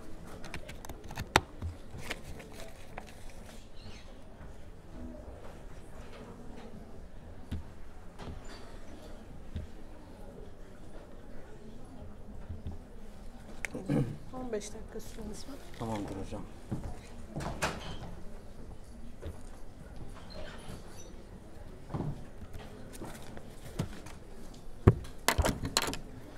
Öncelikle herkese merhabalar, hoş geldiniz. Teşekkür ediyorum Aydın Üniversitesi'ne bana böyle bir fırsat verdikleri için. Benim bahsedeceğim konu e, birazcık eski zamanda geçiyor aslında. Bugün günümüzde hocalarımız çok güzel anlattılar. Çok farklı bir sü- süreçten ve serüvenden geçiyoruz bu zamanda. Ben de öğrencilik yani yüksek lisanslı öğrenciyken düşündüğüm bir fikri bugün sizlerle paylaşmak istiyorum. Çünkü e, dediğim gibi her şey çok hızlıca gelişiyor. Ben gazetecilik e, mezunuyum. 2010'da gazetecilik bölümüne girdiğimde e, gazeteler daha revaçtaydı. 2016'da mezun olduğumda gazeteler artık yoktu. Denilecek kadar hızlıca değiştiler. E, yine bugün baktığımız zaman sanat adına e, o zaman tartıştığımız lisansta yeni medya durumunun e, YouTube ve sosyal mecralarda yine e, geliştiğini görüyoruz. Konvansiyonel medyanın yerine daha farklı atılımlar olduğunu, YouTube'da, mecralarda insanların e, yayınlar yaptığını görüyoruz. Bu gelişimlerin yanında bugün yine yapay zekanın e, bizler için e, sanatın dönüşümüne etkisi olacağını, katkılarının olacağını, farklılaşma yaratacağını da görmekteyiz. Tabi bundan endişe duymalı mıyız, duymamalıyız bunu zaman gösterecek bizlere. E, çünkü eskiden e, bu dile, e, e, eski estetlerin e, fotoğrafçılık karşısında e, fotoğrafçılık karşısında bazı tereddütleri vardı. Onlar resmi övüyorlardı. Resmin daha iyi olacağını düşünüyorlardı. Ancak fotoğrafçılık geldi ve e, her şeyi alt üst etti diyebiliriz. Değiştirdi, değişimi sağladı. Ondan sonra fotoğrafın yanında e, hareketli görüntü sinema geldi ve iş başka bir boyuta da dönüştü diyebiliriz bu zaman içerisindeki bu dönüşüm için. Dediğim gibi birazcık eski bir zamana gidiyoruz. Aslında güncelliği yok gibi görülebilir ama bence e, yani sinemanın e, sanat tarihi adına e, sessiz sinema dönemi çok önemli bir yere sahip. Çünkü e, her şeyi görüntüyle anlatmak zorundayız ve insanlara bunu bu şekilde verebiliriz. Sesli diyalog kullanamadığımız bir zaman içerisindeyiz. O yüzden de sinema e, hakkında deneysel gelişimlerin ve değişimlerin olduğunu görmekteyiz. Yine sanat yapısı içinde bir sürü dinamiği olan e, iyinin, kötünün, kaosun, ahlakın gibi etik kuralların, kavramların içinde yer aldığı çok çerçeveli bir e, aslında alan olarak görülüyor. E, yine envanterleri çok olduğu için teknik olarak da bunu kullanmaya çok müsait olduğunu görüyoruz. Ee, sinemanın anlatı tekniklerinden bugün kurgudan bahsedeceğim. Aslında kurguyu bugün biraz düşündüğümüz zaman günümüz medyasında, gazetecilikte de olsun, e, sinemada olsun, reklamda her şeyde kullanıldığını, edebiyatta da olsun gör, gördüğümüzü söylemeliyiz. Ancak sinemanın kurgu e, gelişimi onun fotoğraftan ayrılan yapısını bize gösteriyor. Sinema dilinin, sinema anlatısının oluşmasını sağlayan bir gelişme olarak bize kurgu bu, bunu sağlamıştır. Sinema dilini oluşturmuştur. Ee, bir film düzenlemekten ziyade bir inşa sürecini içerir. Yani bir film yapmak için öncelikle e, bir bir şey yeniden bir e, kurgu, yeniden bir oluşum, yeniden bir e, düzene oluşturmamız gerekiyor. Sıfırdan başlamamız gerekiyor çünkü kameranın shot dediğimiz şeyi aslında anın bir nevi ölümünü sağlamaktadır. Onun ondan sonraki e, oluşumu, algısal süreci izler kitleyle bir anlam taşıyor. Bu yüzden izleyici de burada çok önemli. E, çalışmamda e, Sovyetler sinemasına yöneldim. Çünkü Sovyet Sovyet sinemasının anlayışı biraz genel sinema anlayışından farklıydı. Onların e, devlet destekli sinemanın gücünü fark edişleri, bunun üzerine okullar açmaları, deneysel boyutta çalışmalar yapmaları ve kitleler üzerinde yaptığı, yaptıkları bu deneylerin bugün halen kullanılabilir olması Sovyetler sinemasını önemli kılıyor. Ee, Sovyetler sinemasının e, önemli atılımlarından tabii yine Lenin'in o dönem sinema tüm sanatların en önemlisidir sözü. Tabii ki bu atılımı sağlıyor. Ee, böylelikle de e, sinema okulları açılıyor. Devlet Film Okulu'nda Lev Kuleshov önderliğinde Pudovkin, Vertov, Eisenstein gibi yönetmenlerin e, geliştiğini, orada teknik e, hünerlerini gösterdiklerini görüyoruz. Lev Kuleshov'dan bahsetmek istiyorum. Onu e, es geçmek olmaz çünkü 1910 yılında bize kattığı Kuleshov etkisi deneysel bir çalışmadır. Bu çalışmada oyuncu Ivan Mosujin'de çalışmış, sinemada algılanım süreciyle ilgili bizlere bazı bilgiler göstermiştir. Ancak bence bunu, e, daha doğrusu bunu e, diğer e, türlerde, sanat türlerinde de görmekteyiz. İşte görselde gördüğünüz gibi e, Kuleshov etkisinde oyuncunun aslında üç farklı planda görüyoruz. Üç farklı planda da aynı surat ifadesiyle görmekteyiz. Ancak burada biz ilk karede gördüğümüz gibi bir adamın çorba e, kasesiyle gördüğümüzde onun aç olduğunu doğal olası doğal olarak algılarımız olarak böyle algılıyoruz. İkinci karede ise çocuğunla bir alakası olmadığı takdirde yine de çocuğun onunla onun kızı olduğunu düşünüyor. Ona göre bir algılanım süreci yürütüyoruz. Üçüncüsünde ise e, güzel bir kadın oturuşundan tabii ki yine e, bir aşk ya da bir şevhet, şevhet gibi bir du duygunun çıktığını düşünüyoruz doğal olarak. İşte bu bizim algılanım sürecimizle ilgili bir deneysellik. Bugün aslında belki de e, çoğumuzun maruz kaldığı e, sosyal medyada, işte dezenformasyonlarda, enformasyon sürecinde, hakikat sonrası süreçte hepimizin de karşılaştığı bir sorun, durum olarak bu karşımıza çıkmaktadır. E, Kuleshow'dan sonra onun öğrencisi Einstein bu e, çalışmanın konusu. Einstein da e, 1898 yılında doğmuş. Tiyatro, dil ve resim, sanat gibi alanlarında çalışmış. Kendisi de mimar mühendis çıkışlı olduğunu söyleyelim. Onun e, eserlerinde Japon etkilerinin olduğunu, e, kabuki tiyatro oyununun olduğunu söylemekte lazım. İdeogramlara da çok yer vermiştir.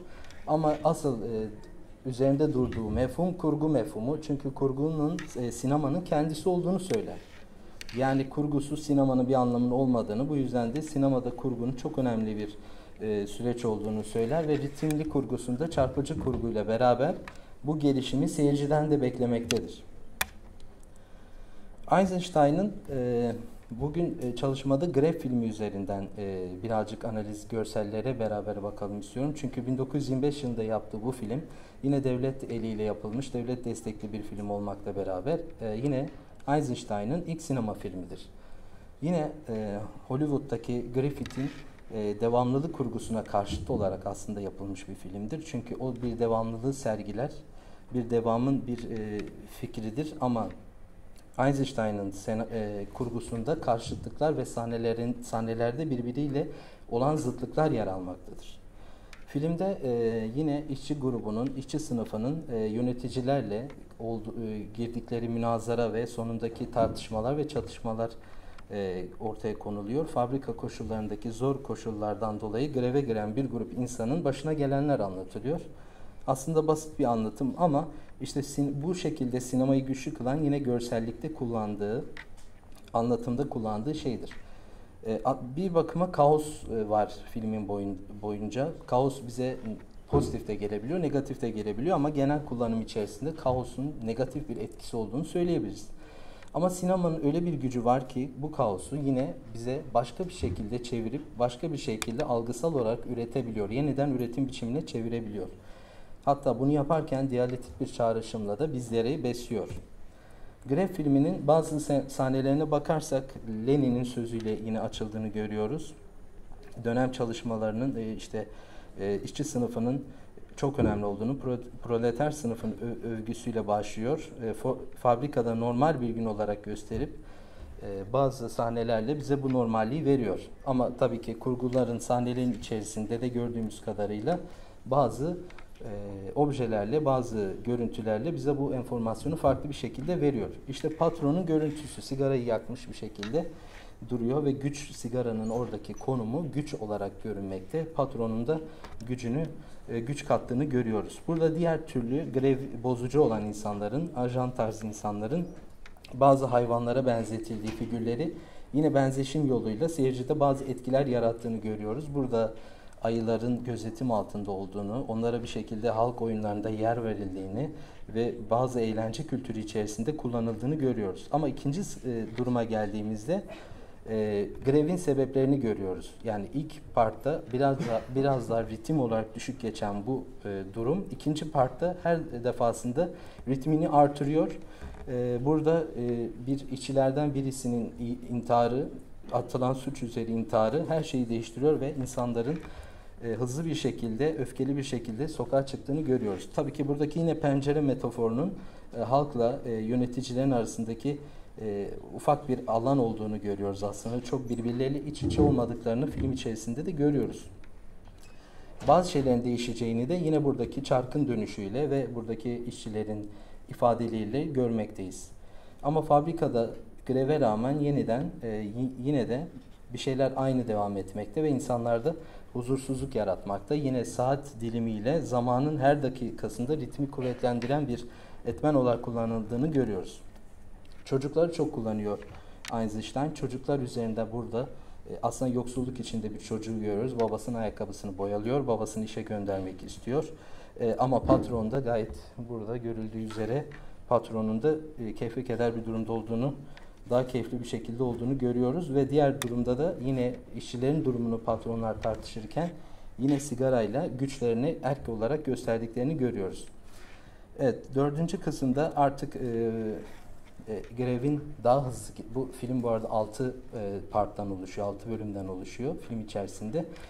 E, grevin e, boyutlarının arttığını, az önce gördüğümüz çocuğun daha kötü bir halde olduğunu, ağladığını görmekteyiz. Ama Diğer sahnede ise işte bir karşıtlık anlatımı olarak burada bir şampanya açılıyor ve bir şeylerin kutlanıldığını görmekteyiz.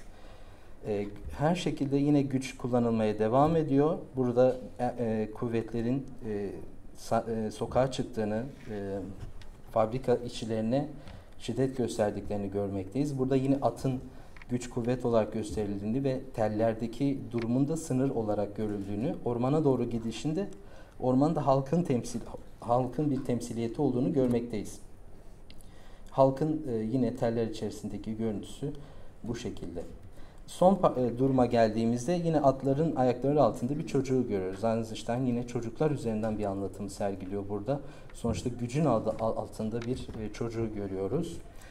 Yine gördüğünüz gibi buradaki merdivenler aslında bir şekilde insanların sermayedarlar karşısındaki durumunu gösteriyor ve sınıfsal farklılığı da ortaya koyuyor ama bu merdivenlerde atlar çıkıyor gördüğünüz gibi. Bu da anlatımı kuvvetlendirmek için kullanılmış ve diğer sahnede az önce gördüğümüz çocuğun bu sefer e, kolu kuvvetleri tarafından da e, camdan atıl, e, balkondan atıldığını görüyoruz. Burada mürekkep e, bir kan figürü olarak kullanılmış ve haritanın üzerine geldiğini görüyoruz. Yine metaforu bu şekilde kullanmış Anziş'ten kötü bir görüntü ama e, sonunda da bu kanın yine bir hayvanın e, ne yazık ki kurban edilişiyle, ölüşüyle devam ettiğini görüyoruz. Evet, bu e, aslında anlattığım filmin e, çok ka kaotik olduğunu görüyorsunuz. Bazı sahnelerin sürekli bir e, güzel sahnelerin çok az olduğu, sürekli bir kaos olduğunu görüyoruz.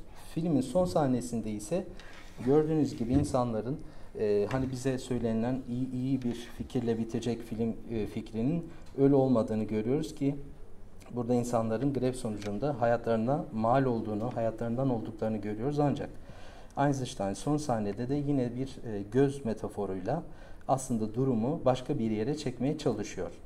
Son sahneye geldiğimizde ise hatırlayın diyor. Yani bu, bu filmin e, finalinde tamamen bir karamsarlıkla bitiyormuş gibi görsel anlamda. Ancak bize yeni bir düşün alanı, yeni bir e, bir e, yeni oluşturacak bir alanı oluşturmaya çalıştığını görüyoruz. Ama burada tabii ki şöyle de bir durum var. E, kaostan düzene dönüş derken bu yapının e, kaos fikrinden bir düzene geçtiğini görüyoruz. Belki Einstein bunu başka duygularla yaptı. Ancak bugünkü e, sinema ve e, popüler kültür kültüründe bu bunun çok e, ideolojik anlamda etkileri olduğunu, kitlelere çok da e, ideolojik zararlar verebileceğini görmekteyiz. Sonuca gelirsek e, tabii ki bu e, an, analiz ve şey fikri, analiz ve e, filmi anlama fikri daha çok gelişmeli ve daha çok e, daha çok medya okur yazarlığıyla gelişmelidir. Yoksa sinemanın e, bu propagandist yapısı bizlere yapay zeka ile birlikte başka bir alana doğru çıkacak ve biz sürekli bir tüketim, sürekli bir e, enformasyona dayalı, sürekli alan e, bir ve, veren olmama koşuluyla e, eleştiren de olmayan bir yapıyla karşılaşacağız. O yüzden Einstein sinemasını seçtim. E, teşekkür ediyorum. Saygılarımla. Ee, şimdi konuğumuz daha var. Ee, sürpriz konuğumuz diyelim. Kendisi yine Fırat Üniversitesi'nden Profesör Doktor Kenan Demirci. Normalde programda online oturumda yer alıyor ama buraya kadar geldiği için, aramızda olduğu için biz sunumuna yer vermek istedik. Daha vaktimiz de var, yarım saat kadar. Greenwashing ve, e, buyurun hocam siz sunumunuzu takın isterseniz. Greenwashing ve toplumsal fayda kavramları perspektifinde sürdürülebilirlik iletişimi reklamlarına yönelik bir analiz başlıklı e, bildiri sunumunu son olarak Kenan Hocam'dan dinleyeceğiz. Şuraya hocam. Şimdi hocam USB yanımda değil. Ee, Mail mi açmanız lazım? Evet. İsterseniz tamam. ben doğaçlama sunayım kısaca. Bitireyim açabilirsiniz. isterseniz. Şeyden, şurada Chrome'dan açabiliyorsanız ama. Şurada. Gmail'e mi gireyim? Nasıl yapayım? Gmail'inizde mi? Evet. Meltem bir yardımcı olabilir misin hocam?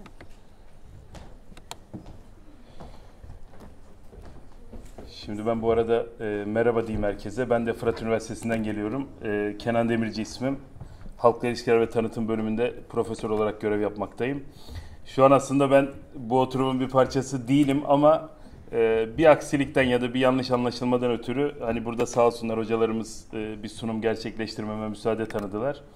Yani ilk korsan sunumum gibi aslında o bakımdan da e, hani ben de biraz böyle heyecanlıyım. E, Yok hocam biz şu an kendimiz e, telafi yapıyoruz. Şimdi e, hocam ben bunu bulamayacağım. Şimdi ben isterseniz böyle devam edeyim kısaca fazla vaktinizi almadan. E, biraz da heyecanlıyım şimdi onu açamayacağım. E, şimdi dediğim gibi yani korsan sunum yapmak biraz böyle heyecan verici ama aynı zamanda da böyle zor bir durum gibi. Şimdi şöyle tabii hocalarımız aslında yayıncılıktan bahsettiler. En son hocamız e, sinema ile ilgili çok güzel bir sunum yaptı.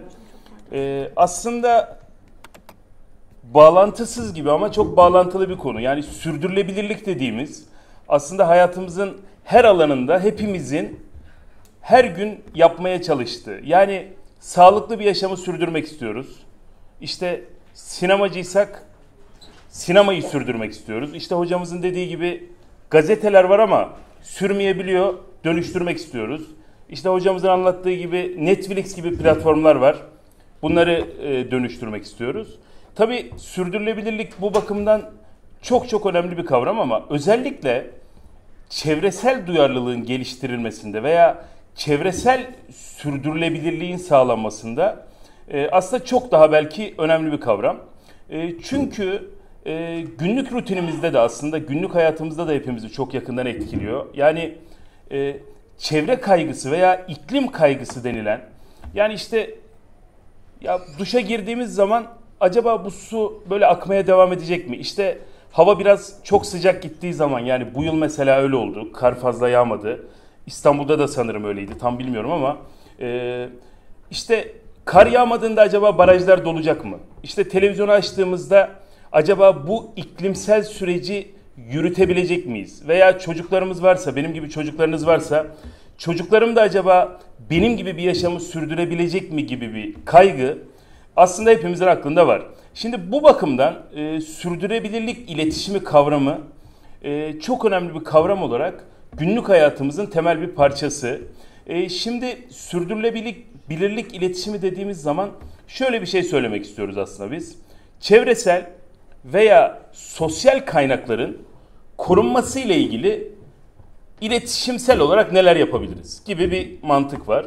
Ee, burada önümüze çıkan temel kavramlardan bir tanesi aslında sosyal inovasyon dediğimiz bir kavramın geliştirilmesi veya gündelik rutin, rutinde kabul ettirilmesi veya uygulanmasıdır. Yani şöyle bir şey bu. Yani sürdürülebilirlik dediğimiz zaman yani biz suyu korumak istiyorsak ben Kenan olarak bunu korumam mümkün değil. Ama burada benim de belli bir rolüm var. Ama aynı zamanda hayat su veya işte neyse bir su markasının da bir sorumluluğu var. Aynı zamanda kurumsal yapılarında belli sorumlulukları var. Şimdi tabii bu sorumlulukların gerçekleştirilmesini ben bugünkü sunumum itibariyle kurumsal düzeyde böyle hızlıca bir bakış yapmaya çalışmıştım aslında. E, o da şuydu, e, biliyorsunuz yani sürdürülebilirlikle ilgili bir şeyler yapıyorsanız günlük hayatınızda bunu aktarmak istiyorsunuz aslında. Yani mesela biz şimdi sürdürülebilirlikle ilgili bir proje yürütüyoruz e, TÜBİTAK kapsamında, BİM1 kapsamında. Şimdi bizim bursiyer arkadaşlarımız mesela beni sürekli uyarıyorlar. Yani o kadar kendimizi de aslında bu işin içine soktuk ki mesela odamdaki ışık açık olduğunda gereksiz yere hemen bir bursiyer arkadaşım söylüyor. Hocam diyor ışığı açmışsınız ama kapatacağım ben. Veya işte kağıt bardak kullandığımız zaman hayır diyoruz kağıt kullanmamamız lazım. Yeniden kullanılabilir cam bir bardak kullanmamız lazım gibi. E, bunlar günlük rutinimizde bu kadar etkili ama kurumsal yaşamda da bunun benzer bir karşılığı var. Kurumlar da aslında sürdürülebilir, çevresel bir yaşamın nasıl sürdürülebileceğini, burada yapacakları katkıları aslında bize açıklamak durumundalar.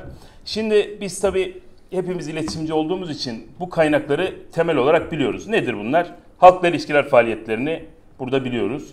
İşte sosyal medya, özellikle web siteleri gibi e, yeni medya teknolojilerinin kullanımı burada anahtar bir rol. E, bunun farkındayız. Ama üçüncü bir başlık olarak da reklamların kullanımı aslında çok etkili. Dikkat ederseniz yani akşam herhangi bir saatte veya televizyon açtığınız zaman çevreyle ilgili bir reklam görmemeniz mümkün değil. Su kaynaklarını anlatan, işte deterjan reklamlarını düşünün, banka reklamlarını düşünün. Şimdi ben burada üç tane reklamı aslında belirlemiştim e, bu sunum için. E, özellikle bunlar e, bankacılık sektöründe dikkat ederseniz çok yoğunlaşıyor. Mesela Garanti Bankası reklamları dediğimde hemen bunu düşünebilirsiniz. Garanti BBVA. İşte Şekerbank burada mesela önemli bir aktör. İş Bankası önemli bir aktör. Yapı Kredi belki önemli bir aktör. İşte turizm sektörüne geldiğinizde Jolly Tour gibi firmalar biliyorsunuz burada önemli bir aktör niteliği arz ediyor. E, şimdi burada aslında e, reklamları e, tek tek izletmeyeceğim tabii ki ama şu mantığı aslında aklımız benim hep aklımda kalmasını istiyorum. Hani sizin de aklınızda kalmasını çok istiyorum. Yani biz kurumsal olarak sürdürülebilirlikle ilgili bir şeye baktığımızda veya bir metni izlediğimizde şundan emin olmamız lazım. Kurum gerçekten dünyanın sürdürülebilirliğine, işte su kaynaklarının, yiyecek kaynaklarının, sosyal eşitliğin, kadın erkek eşitliğinin neyse sürdürülebilirliğine bir katkı yaptığını bana açıklaması lazım. Benim de bundan emin olmam lazım. Ama öbür türlü eğer e, kurumsal faaliyetlerin ılımlılaştırılması yani toplumsal yapıya kabul ettirilmesi veya tüketiciye bunun hoş gösterilmesi gibi mantık olduğu zaman tabii biz bunun e, problemli bir şey olduğunu söyleyebiliyoruz. Yani bugün öyle bir şey ki mesela baktığınız zaman gene günlük rutinde bunu takip etmek mümkün. Şimdi markete gidiyorduk eskiden. Yani biz ben öğrenciyken işte 2000'li yılların başında lisans öğrencisiyken ben 2002 yılında mesela hatırlıyorum siyaset bilimi hocamız vardı. Teksir kağıdı almamızı söylerdi bize. Teksir kağıdı dediğim bu sarı kağıtlar vardır ya bilirsiniz büyük bir ihtimalle. Şimdi mesela bugün siz sarı bir kağıt almak istediğiniz zaman tekstil kağıdı gibi ikinci, üçüncü, beşinci hamur bir kağıt almak istediğiniz zaman daha pahalı olduğunu görebiliyorsunuz mesela markete gittiğinizde. Geri dönüştürülebilir kaba konmuş bir öğlen yemeği almak istediğinizde bunun bembeyaz paketlenmiş bir üründen daha pahalı olduğunu görebiliyorsunuz. Mesela bu gerçekten çok dikkat çekici bir şey ve bize şunu söylüyor. Aslında kurumlar sürdürülebilir kaynakları korumak istediklerini söylerlerken her zaman bunu yapmıyorlar aslında. Burada zaman zaman ticari kaygılar öne çıkabiliyor. E, bu, bu ticari kaynakların öne çıkması belli bir ölçüde rasyonel olmakla birlikte tüm mantık bunun üzerine kurulduğu zaman burada önemli problemler olduğunu görebiliyoruz. Mesela mesela ben en son yazdığım bir makalede şu mesela çok ilginçti. Bu e, biyoçeşitlilik çalışan bir hocamızdan da mesela onun kaynaklarından da ben yararlanmıştım. Yani deterjan kullanarak suyu koruyabileceğinize yönelik bir fikir oldukça problemli bir fikir. Çünkü deterjanın içindeki maddeler temel olarak suyu kirleyen, kirleten temel maddeler oluyor. Veya sizin aslında e, bankacılık faaliyetlerine katılarak çevreyi koruyabileceğinize dair bir fikir doğrudan doğruya doğru bir fikir değil. Bu bakımdan da e, önemli bir problem içeriyor. E, buradaki işte reklamlara baktığımızda özellikle hani birkaç maddede söylemek isterim.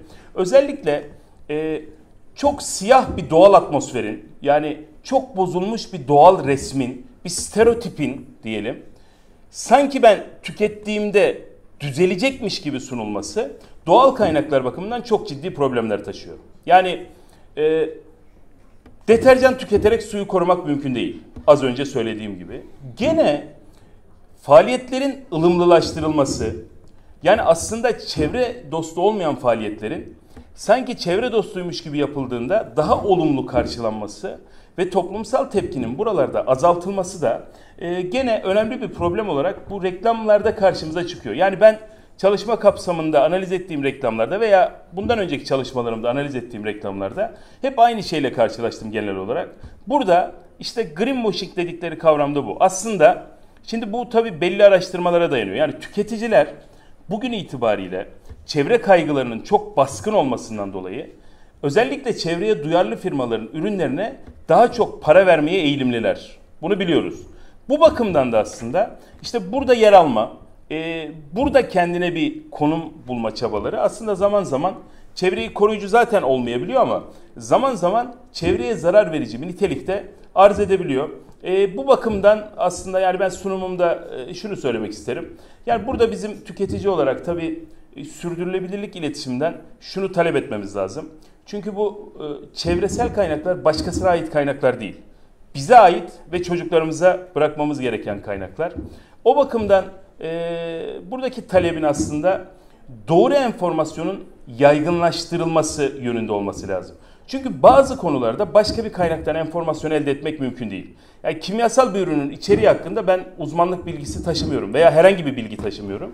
O bakımdan buradaki reklamlardaki bilgilerin doğru olması, e, manipüle edici olmaması ve bunun tüketiciler tarafından talep edilmesi aslında bu sürdürülebilirlik çabalarının gerçekleştirilmesinde e, önemli bir şey olarak karşımıza çıkıyor. E, sosyal inovasyon dediğimiz yani gündelik rutinde aslında bu teknolojik gelişmelerin kabul ettirilebilmesi veya günlük rutine bağlanabilmesi de gene buradaki doğru enformasyon aktarımı çabalarından geçiyor diye söyleyebiliriz. E, böyle aslında son noktayı e, koymak isterim. Yani Böyle tahammül ettiğiniz için de çok teşekkür ederim. Hocama da çok teşekkür ederim. Hocalarıma da e, çok teşekkür ederim. Böylece bir ilk korsan konumu, sunumumu da böyle sağ salim tamamlamış oldum. Çok teşekkür ederim dinlediğiniz için. Çok sağ olun.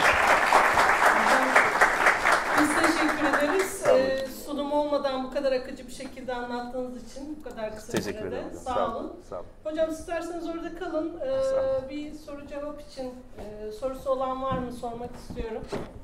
Buyurun hocam. Genel olarak sınırlarla ilgili. Tabii, buyurun.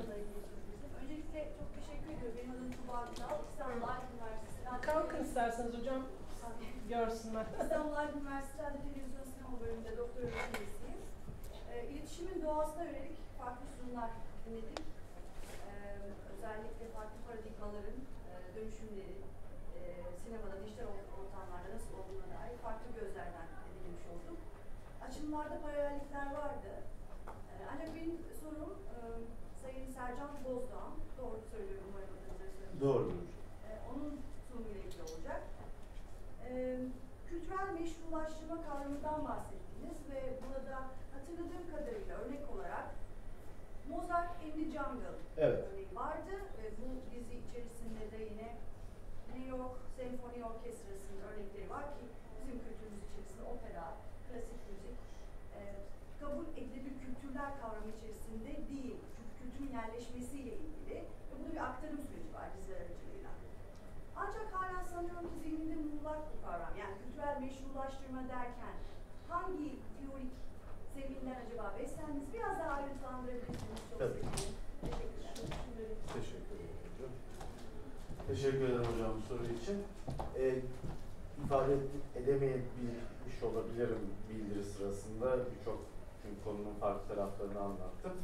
Ee, kültürel meşrulaştırma temel olarak şu, meşru sanat eseri olarak sayılan, yani bir e, yedinci sanat, onun öncesi altı sanat, bunlar o spektrumda düşündüğünüz zaman e, eğer toplumsal alanda daha alt sınıflarla eşleştirilmiş, yaratıldığı zaman ki sinema da böyledir yani başlıca yaratılması entertainment'tır yani halkın eğlencesi için yaratılmıştır.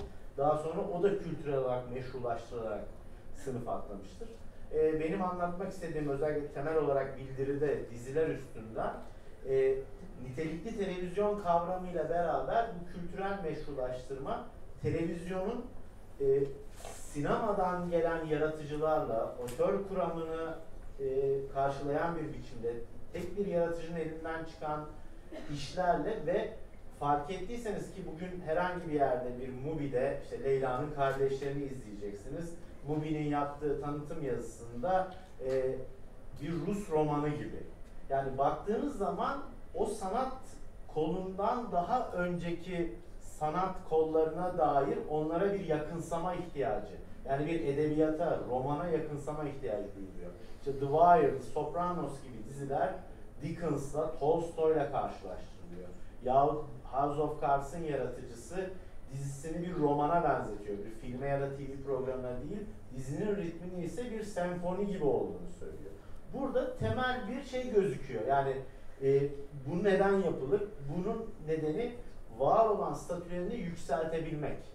E, ve bildirimizin iddiası da buydu. E, şu an video stream servislerinde var olan bu içerik bombardımanı ve çeşitliliği ve bu içeriğe seyircilerin aslında bunların çoğu çöp demesi tırnak içinde e, bir e, simgesel sermaye kazanımına ihtiyaç olduğu içindir. Çünkü orta sınıf hem konumunu koruyabilmek hem de üst sınıfa çıkabilme umuduyla orta sınıfın altındaki sınıflar ise nitelikli eserleri kültürel sermayeleri yetmedikleri için tüketemediklerinden nitelikli görünümlü eserler tüketiyorlar. Mesela Netflix'in arama bölümüne girdiğiniz zaman Sopranos yazdığınız zaman e, size Sopranos'a benzer nitelikli görünümlü eserler tek şey yapmaya başlıyor.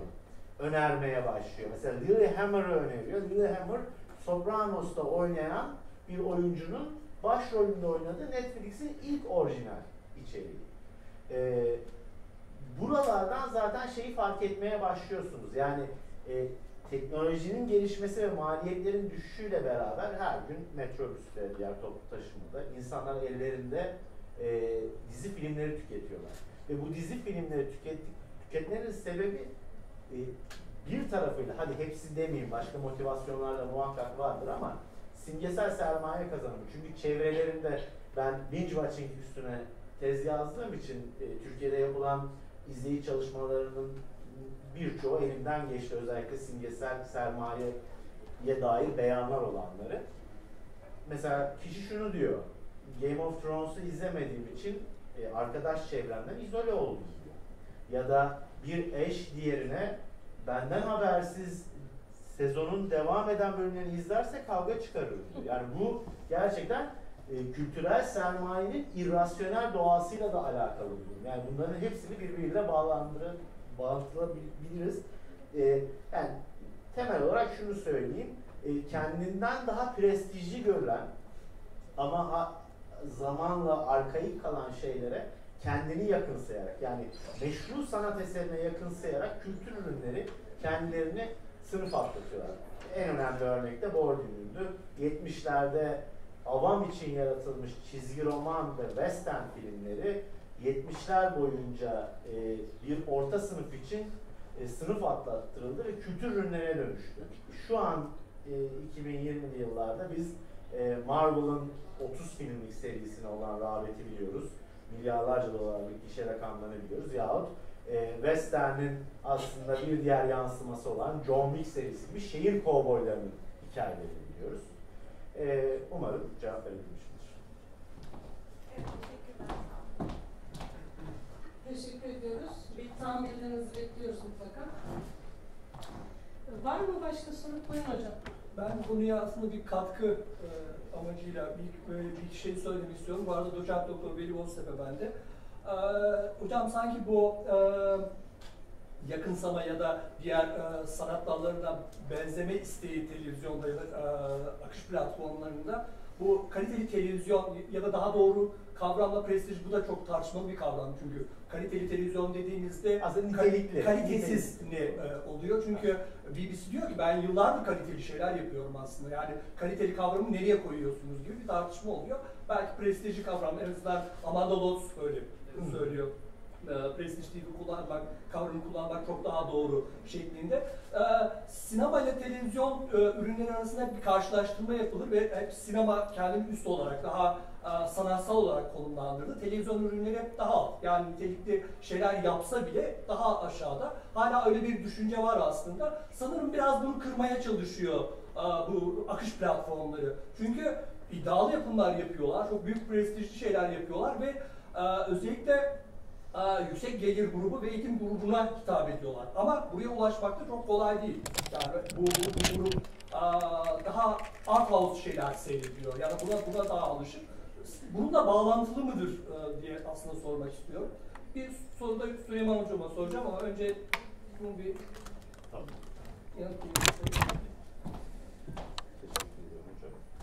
Ee, bir, ön- bir önceki soruya verdiğim cevapla aslında aynı hocam. Nitelikli görünümlü eserler, yani nitelikli televizyon, quality TV eserlerin yanına nitelikli görünümlü eserler koyuyorlar. Aslında 92'de e, Thomson Quality TV terimini akademik alana taşıyor ve 12 tane madde sıralıyor. Burada e, kompleks metinler olması ki o güne kadar e, dünya televizyon seriyaller standalone yani bir bölümde başlayıp biten hikayeler. Ama o günden sonra quality TV kavramını karşılayan eserler ise lineer bir hikayeyi yani bir ark yaratıyor. e, önceki bölümlerdeki olaylara ve karakterlere referans veriyor. Böylelikle bir bölümde bitip başlayıp bitmiyor. Yani seyircinin takip etmesi gerekiyor. Daha kompleks, katmanlı metinler ortaya çıkıyor. E, Netflix'e baktığınız zaman evet hani birçok insan işte çöp, leş, tırnak içinde bahsettiği işler de var ama bir yerde Alfonso Cuarón'un Roma'sı da var. Scorsese'nin Irishman'ı da var. Yani e, en iyi de var, en kötü de var. Bu bu kültürel sermaye, kültürel sermaye kazanırsanız sosyal çevrenizi geliştiriyorsunuz. Sosyal sermayeyi temelinde simgesel sermaye arttırmak için e, sınıflar büyük bir rekabet içinde ve onlara ürünler sürün, sürülmesi gerekiyor. E, buradaki o spektrum yani bir e, video stream servisi içinde en iyinin de en kötünün de bulunmasının nedeni bu. Yoksa o HBO örneğinde verdiğim sadece e, iktisadi açıdan, kültürel açıdan yetkin bir demografiyi hedeflerseniz bir süre sonra kar edemezsiniz ve sıkışıp kalırsınız. Netflix bu bariyeri yıktı. Yani nitelikli görünümlü, şöyle söyleyeyim, e, daha iletişim kuramları var. Nitelikli TV'nin simülasyonu olan eserler. Görüntüde aynı ama içerik tam tersi. Böyle eserler sunmaya başladı. O yüzden böyle geniş bir e, eser niteliğinde bir spektrum çizmekte video stream Ama servisi. hocam oradaki en iyi ya da en nitelikli yine oradaki izleyici puanlamaları belirlemiyor. İzleyici puanlamaları o algoritmayı Algoritmalar da. besliyor. Yani o recommendation size tavsiye sunan sistemi şey yapıyor ama oradaki en iyinin e, bir herhangi bir yerde çünkü bunu da yine tartışmada Oscar ve Cannes Netflix çıktığı zaman protesto ettiler. Almayız dediler. Şu an TikTok Cannes'ın ana sponsorlarından biri. Yani aslında zamanın nereye doğru aktığı belli. Buna da karşı konulmuyor. Hocam, bir katkı yapabilir miyim ya da sorayım. Bu bahsetmiş olduğunuz, bu arada ben Radyo Televizyon ve Sinema Bölümü öğretim üyesi Burhan Kılıç. Teşekkür ediyorum herkese sunumları için. Ee, hocam ben de Süleyman Hoca'ya soracağım ama benzeşir diye önce siz sorun. Aynıysa ben tekrar sorayım. Hayır ben Sercan Siz, Hocam'a soracağım. Hocam sorun. Yani ben de belki Süleyman Hocam cevap versin. Kualite Sorudan bu, bu soru size hocam. İlki size. Ben hocamın ikinci sorusunu bölmeyeyim diye. E, quality TV dediğiniz kavram nitelik kalitesi evet belki ama galiba ona endeksleniyor. Bu kavram daha önce IPTV için servis kalitesi olarak kullanıldı. Acaba nicel bir kalite bağlamında quality TV denilebilir mi? Çünkü size belirli bir görüntüyü, belirli bir içeriği kopma olmadan ve belli bir netlikte sunuyor. Bu açıdan nicele bir göndermede olabilir mi bu quality TV? Yoksa bir alakası yok. Benim bildirimdeki o değil. Yani teknik bir şeyi karşılamıyor. Benim bildirimde olan 80'lerde eleştirmenlerin nadiren kullandığı, e, 90'lı yıllarda ise Thompson'ın akademik alana taşıdığı quality TV terimi ki e, zaten e, 80'lerde ancak buna en çok benzeyen David Lynch'in Twin Evet. Peaks. Zaten yani baktığınız gibi Lynch gibi bir otörün yaptığı e, tamamen kompleks bir metin ortaya çıkmıştı. Ama 2000'li yılların başında bunun ismi konulabildi. Yani The Wire ve The Sopranos gerçekten o güne kadar televizyon seyircisinin görmediği işlerdi. Bugün bile dönüp yani bu 2002 The Wire'ın başlangıcı, 2008'de bitti 6 sezon. Şey, şu gün e, birçok alanda toplumsal cinsiyette falan çok daha özgürlükçü işler görebilirsiniz bölümler bazında. Ve çok da slow burn, burn çok yavaş açılan bir hikaye ve aslında bir e, yaratıcısı da gazetecisidir. Yani Baltimore'daki o bütün uyuşturucu şebekesini kendi gazetecilik şeylerinden yazdığı senaryoyla ortaya çıkarmıştır. E, seyircinin ilk defa böyle bir şeyle karşılaşması var. Çünkü ondan önceki bölümlerde hikaye artları yok. Yani olay o bölümde başlıyor, o bölümde bitiyor. Bu yüzden nitelikli, katmanlı, işte sinemadan gelen yaratıcılar var, katmanlı metin var. Emmy ve e, birçok ödül, e, Golden Globe ödülleri var ve bunların hepsi ne oluyor? Seyirci tercih ederken kültürel ve iktisadi yetkinliği olan seyirci. Aa bu Emmy kazandı, Golden Globe kazandı. O yüzden tercih edildi diyor. Onlar için yapılan eserler.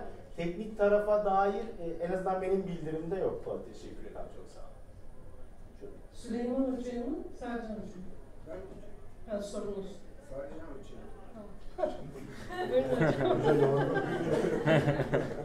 Son 12 dakikamız. Buyurun. Bölüm başçı, e, İletişim Fakültesi Halk İlişkiler ve Tanıtım Bölümü öğretim üyesi.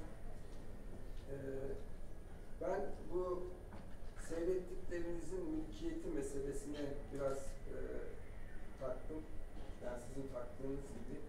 E, çok etkileyici bir sunumdu. Çok zihin açıcı bir sunumdu. Çok teşekkür ediyorum. Diğer sunumlar da öyle. Mesela sanat eserinin performansı meselesi beni çok ilgimi çekti. Ee, onun üzerine de sorularım var ama isterseniz oturumdan sonra onu konuşalım. Sizle yüz yüze.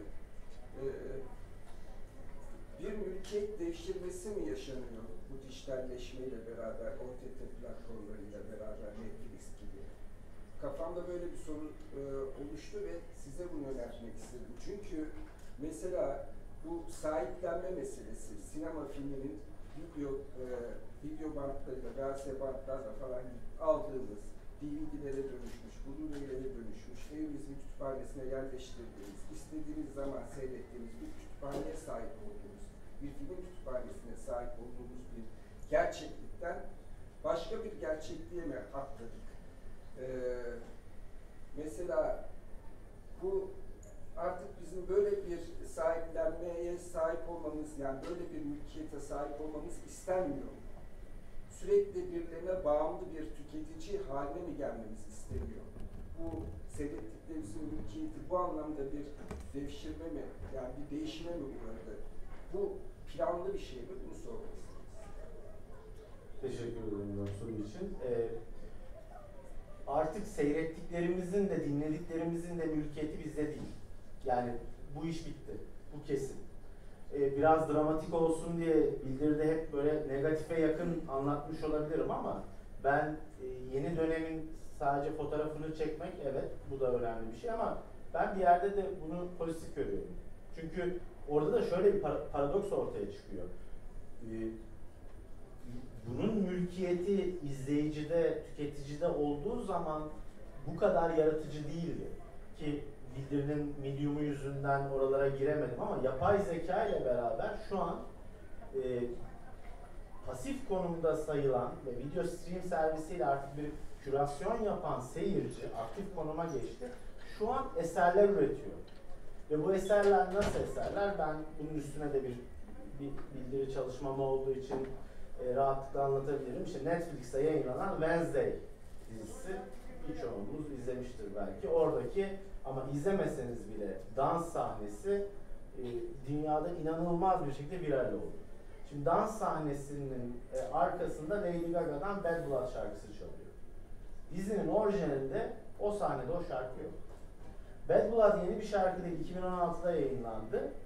E, viral olan TikTok videosundaki Bad Blood orijinal Bad Blood değil. Bir buçuk hızında hızlandırılmış. Yani hiçbir şey aslında orijinali gibi değil. Tekrar üret, tüketici tarafından üretiliyor. Ve e, var olan eserden daha fazla rağbet görüyor. Ki bu yapay zeka ile beraber çok daha tahayyül edemeyeceğimiz e, yeni imkanları bize doğuracak. E, ne yazık ki seyrettiklerimiz mesela Spotify'da da size önerilenler e, sizin sevdikleriniz, e, like yaptıklarınızdan daha fazla size bilmediğiniz şeyler önerilir. Yani artık sahip olduğunuz, sevdiğiniz şeyler yok.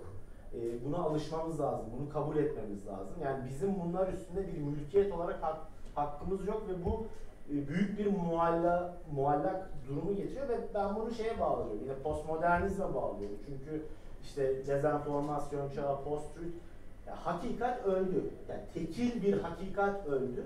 Artık herkesin biricik bir hakikati var. Herkesin kendisinin özelleştirdiği bir hakikat var. O yüzden e, burada anlattığım Disney Plus'ın e, Atatürk filmi üstünden de, dezenformasyon vakası da o. Yani tamamen kapitalizmin bir kuralıydı. Yani kapitalist bir dönemde yaşıyorsak bir zarar var. Bu zarar kaldırılması için vergiden düşürülmesi gerekiyordu. Ama mevzu işte Ermeni lobisi, bilmem o, bu falan bunlara. Bu arada Ermeni lobisi mevzusunu tam açamamış olabilirim. Ermeni lobisi bundan vazife çıkardı. Taş atıp kolu yorulmadı yani. Var olan bir süreç vardı. Üstüne yattı. Ee, böyle de bir buradan çok şiddetli bir tepki alınacak. Belki toplumun birçoğu bu yüzden kaldırıldığını sanıyor. Ve bakın mecra değişti. Yani video stream servisinin o mecrayı değiştirip e, tözünü, eserin tözünü değişi nasıl anlatabiliriz? Mini dizi olarak yaratıldı 8 bölümlük Atatürk dizisi şu an film oldu. Ve filmin akıbetine dair bir bilginiz var mı? Benim yok. Yani Türkiye'nin kurucu lideri için bir film yapılıyor. Gişe çok düşük. Rekorlar kırmadı. E şimdi bir film çıktı. Şimdi bakıyorum billboardlarda ya da metrobüste orada burada. Atatürk 2 diyor. Ya Atatürk 2 diye film mi olur yani? Böyle şeyler var. Ve gördüğünüz gibi mecra değiştiği zaman eser çünkü onun için yapılmamış. Aslında dezenformasyonla beraber bunların gerçek hayattaki karşılıklarını artık çok daha açık görebilmekteyiz. Hocam umarım. Teşekkür ederiz hocam. Süleyman Hoca'ya mikrofonu. Evet, Süleyman Hoca'ya soruları alalım. Aslında Hocam sen, ben bu, Hocam bu konuştuğumuz şeylerle ilgili bir, bir, Vermeyin hocam. Vermiyorum. Vermeyin. bir şey daha dakika. söylemek istiyorum belki bir katkı. Bu mülksüzleştirme, e, mülkiyetsizleştirme konusu biraz toplumsal yapıyla da sanki bağlantılı. Sadece yani şirketler ya biz bunları mülksüzleştirelim gibi bir şey yapmıyorlar. Var olan toplumsal bir yapıyı sanki kullanıyorlar. Bu Richard Sennet'in otorite kitabında şey bahsettiği e, aslında bu kölelik, efendilik ilişkisi aslında e, efendi sadece köleyi yönetmiyor. Aynı zamanda köle de efendiye ihtiyaç duyuyor. Bu bir karşılıklı ilişki sanki.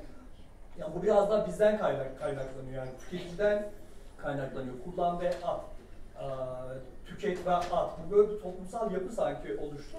E, o, o, bu- buradan hocamın Ben asıl konusuyla... de alabilirim. Ha, evet konuyla bağlantılı. Metalaştırma üzerinden belki okuyabiliriz bu mülk meselesini. E- evet, Yani bu- keyifli olduğu için yani ve ben de bağlantılı olduğu için. Yani mülk değil de meta. Yani mesela televizyon içerikleri e, metalaştır. Ya evet birer meta ama bizim alıp satabileceğimiz bir meta değil. Ne zaman metaya dönüştü? DVD'lerle, VCD'lerle metaya dönüştü. Yani e, bir sinema filmi gibi olmaya başladı. Artık dizileri de alıp satabiliyoruz.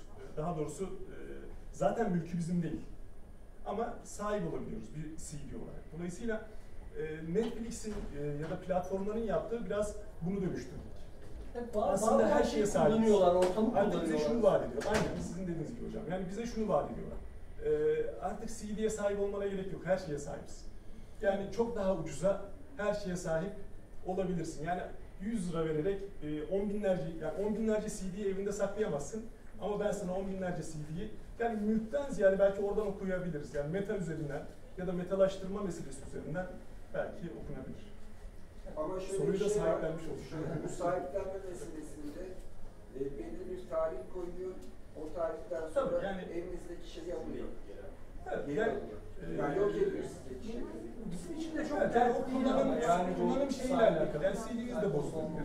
Kullanım şeyi ortadan kalkabilir ama yani mesela bir filmi satın, yani bir metayı satın alıyorsunuz sonuçta. Ceketiniz ne zaman eskirse e, o kadar kullanabilirsiniz. Ama onun sahibi siz değilsiniz. Yani o filmin sahibi siz değilsiniz. Satım hakkına sahip değilsiniz, dağıtım hakkına sahip değilsiniz. Sadece bir aslında endüstrinin sizi tüketici olarak konumlandırmasıyla bağlantılı. CD olarak tüketme, e, stream olarak tüket. Yani ama tüket ve daha fazla, daha verimli tüket. Yani e, yanında taşımana gerek yok. Saklama, yani e, her yerde izleyebilir. Aslında endüstrinin temel mantığı, işi kolaylaştırma mantığı. Yani şeye kadar götürülebilir. 1920'lerde mesela e, o popüler şeyler ortaya çıktığında popüler gazeteler falan kolay e, tüketilsin, rahat okunsun, her yerde okunsun, her yerde tüketilsin. İşte tramvayda tüketsin, işe giderken okuyabilsin, rahatça tüketebilsin. Yani yanında nasıl taşıyabilir, nasıl portatif hale getirebilir? E, dolayısıyla aslında onun mülkiyetini bana vermiyor. Sadece kullanım şeyini veriyor bana. Yani o değişim ve kullanım meselelerinde belki biraz devreye giriyor. Dolayısıyla benim için kolaylaştırıyor. Yani ben onu cebimde taşıyabiliyorum. 10 bin tane kataloğu cebimde taşıyabiliyorum ve onu istediğim zaman tüketebiliyorum. Hepsine sahip olmam zaten mümkün değil. Dediğim gibi zaten haklarına sahip değilim. Yani onu yeniden yayınlama, bir yerde dağıtma, oradan para kazanma hakkına zaten sahip değilim. Dolayısıyla meta meselesi yani o ticari mantık, beni müşteri olarak konumlandırması meselesi de sadece burada o şeyi e, tüketme biçimini değiştirme meselesiyle de alakalı bir şey. E, belki oradan okunabilir. E, burada da şeye gidebilir. Yani maddi olarak yani e, maddi olarak belki bir materyale sahip değilim. Yani bir CD'ye, bir DVD'ye sahip değilim. E, ama şeye sahibim. İçeriye sahip. Belki yani- mesela sahip olma, elinde bulundurma meselesi farklı bir sosyalleşme ve bir hayatı yaşayış ve paylaş, paylaşma biçiminde bulunuyor. Çok yönlü bir şey. Mesela bir o esere sahipsiniz, elinizde bulunduruyorsunuz. Tamam ticari mülkiyet hakkı sizde değil hiçbir şekilde. Toplu gösteri falan yapamıyorsunuz ama arkadaşlarınızla bir ev toplansa hadi şu filmi izleyip deyip koyup orada o filmi beraber bir hayat tarzını e, orada beraberce paylaşıyorsunuz. Yani mesela E, Netflix üzerinden de Netflix'te de bunlar olabiliyor ama e, bu ayrı bir ritüel. Yani mesela O ayrı bir yaşam biçimi ve e, bu çok da değerli bir şey. İnsan yani insanın hayatı paylaşma biçimleri açısından son derece değerli bir şey. Arkadaşlarıyla sosyalleşme açısından onlarla bir, dünyayı paylaşma ve onun üzerinde fikir geliştirme sonrasında çok değerli bir şey bu. Yani o sahip olması. Mesela Netflix bunu e, az önce sorduğum soru o da var. E, bunu elinizden alıyor. Ee, yani bu ritüeli onlara bağımlı bir şekilde yaşamanızı e, size dikte ettiriyor. Yani onlara bağımlı bir şekilde bu ritüeli yaşıyorsunuz. Diğer türlü mesela DVD elinizde olsa o bağımlılıktan kurtuluyorsunuz. Onun belirleyicisi siz oluyorsunuz. Bu, bu Yani- mesela çok başka bir yaşam tarzı ve acayip bir şey. Yani çok Yani- tuhaf, çok e, mesela paha biçilmez bir değere sahip. Yani mesela sizin söylediğiniz son zamanlarda yapılan, İngiltere'de yapılan bir çalışma da mesela bu hani Netflix'in şey, e, bu bireysel düzeyde aslında toplumsal hayattan yani mesela birlikte izleme deneyiminden yalıttığına dair ya da diğer platformların yalıttığına dair temel varsayımdan yola çıkıyor ama mesela izleyicilerin verdiği tepkilerde şunu fark ediyorlar. Aslında e, sosyal birlikte izleme deneyimlerinin olduğunu yani mesela Netflix'i birlikte açıp izleme. İşte bir bölümü eşim yokken izlemiyorum diyor mesela. E, birlikte izliyorum filan. Az önce hocamız da söyledi yani kavga çıkarırım mesela ben siz izlerse filan diye. Aslında e, insanlar yeni formlarda, yeni biçimlerde sosyal deneyimleri de sürdürme şeyini buluyorlar aslında bir şekilde dediğiniz gibi. Çünkü o değerli bir şey. Yani o insana ait bir şey, bize ait bir şey. Yani birlikte vakit geçirme eğilimi Netflix'e ait bir şey değil. Ama dediğiniz nokta kendisine bağımlı kılıyor evet. Yani ben de izleyebilirsin ama diğer türlü de düşünebilirsiniz. CD'yi satın almadan da onu izleyemezsin. Yani bu mantıkla da bağlantı belki takip edilebilir. Ee, sonuçta bir şekilde senin, yani orada senin sosyal deneyimini belirleme meselesi değil ya da bireyin belirleme meselesi değil. Oraya nasıl dahil olma meselesi olarak belki e, okunabilir. Yani farklı biçimlerde dahil oluyor. Birisi CD satarak dahil oluyor, birisi de stream satarak aslında dahil oluyor. Ama insan orada onu nasıl dönüştürür, nasıl e, kendi pratikleriyle etkileşimli hale e, sokarak değiştirir? Orada tabii insan deneyimleri devreye giriyor. Burada son bir şey ekleyebilir miyim? Evet, Berat. Hocam son bir şey ekleyebilir miyim? Mesela bu seyir deneyimi de çok ilginç bir şey. Sercan Hocam'ın da e, sunumunda belirttiği bir şey, sizin de belirttiğiniz bir şey. Sinemadaki seyir deneyimiyle bu dijital platformları beraberce izleme ya da tek izleme arasındaki seyir deneyimi çok farklı bir şey. E, mesela sinema sizi e, perdede anlatılan hikayeyi ortamı karartarak, çevrenizden yalıtarak sokuyor, odaklıyor. O dünyanın içerisinde yaşıyorsunuz. Ama biz evinizin salonunda Netflix'teki bir filmi ya da bir diziyi izlerken berabersiniz. Aynı televizyon izleme deneyimi gibi kahvenizi alıyorsunuz, durduruyorsunuz, gidiyorsunuz, tekrar geliyorsunuz. O bütünsellik kopuyor Ee, ve anlamlandırma meselesi e, seyir deneyiminden farklı bir boyuta dönüşüyor. Yani iki platform çok farklı bir şey, e, ayrı bir değere sahip. E, anlatılan hikayenin size yarattığı etki açısından farklı farklı sonuçlar doğurabiliyor. Çok farklı bir deneyim yani. O zaman hocam Makluhan'ın araç mesajdır Evet. kısmına e, tekrar hatırlayarak bu oturuma artık son vermek istiyorum. Saat 12.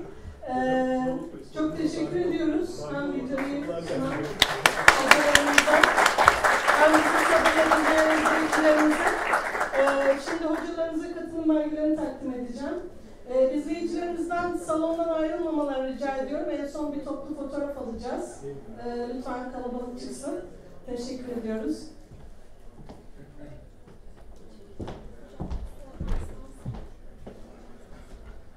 Evet, Şafak 어.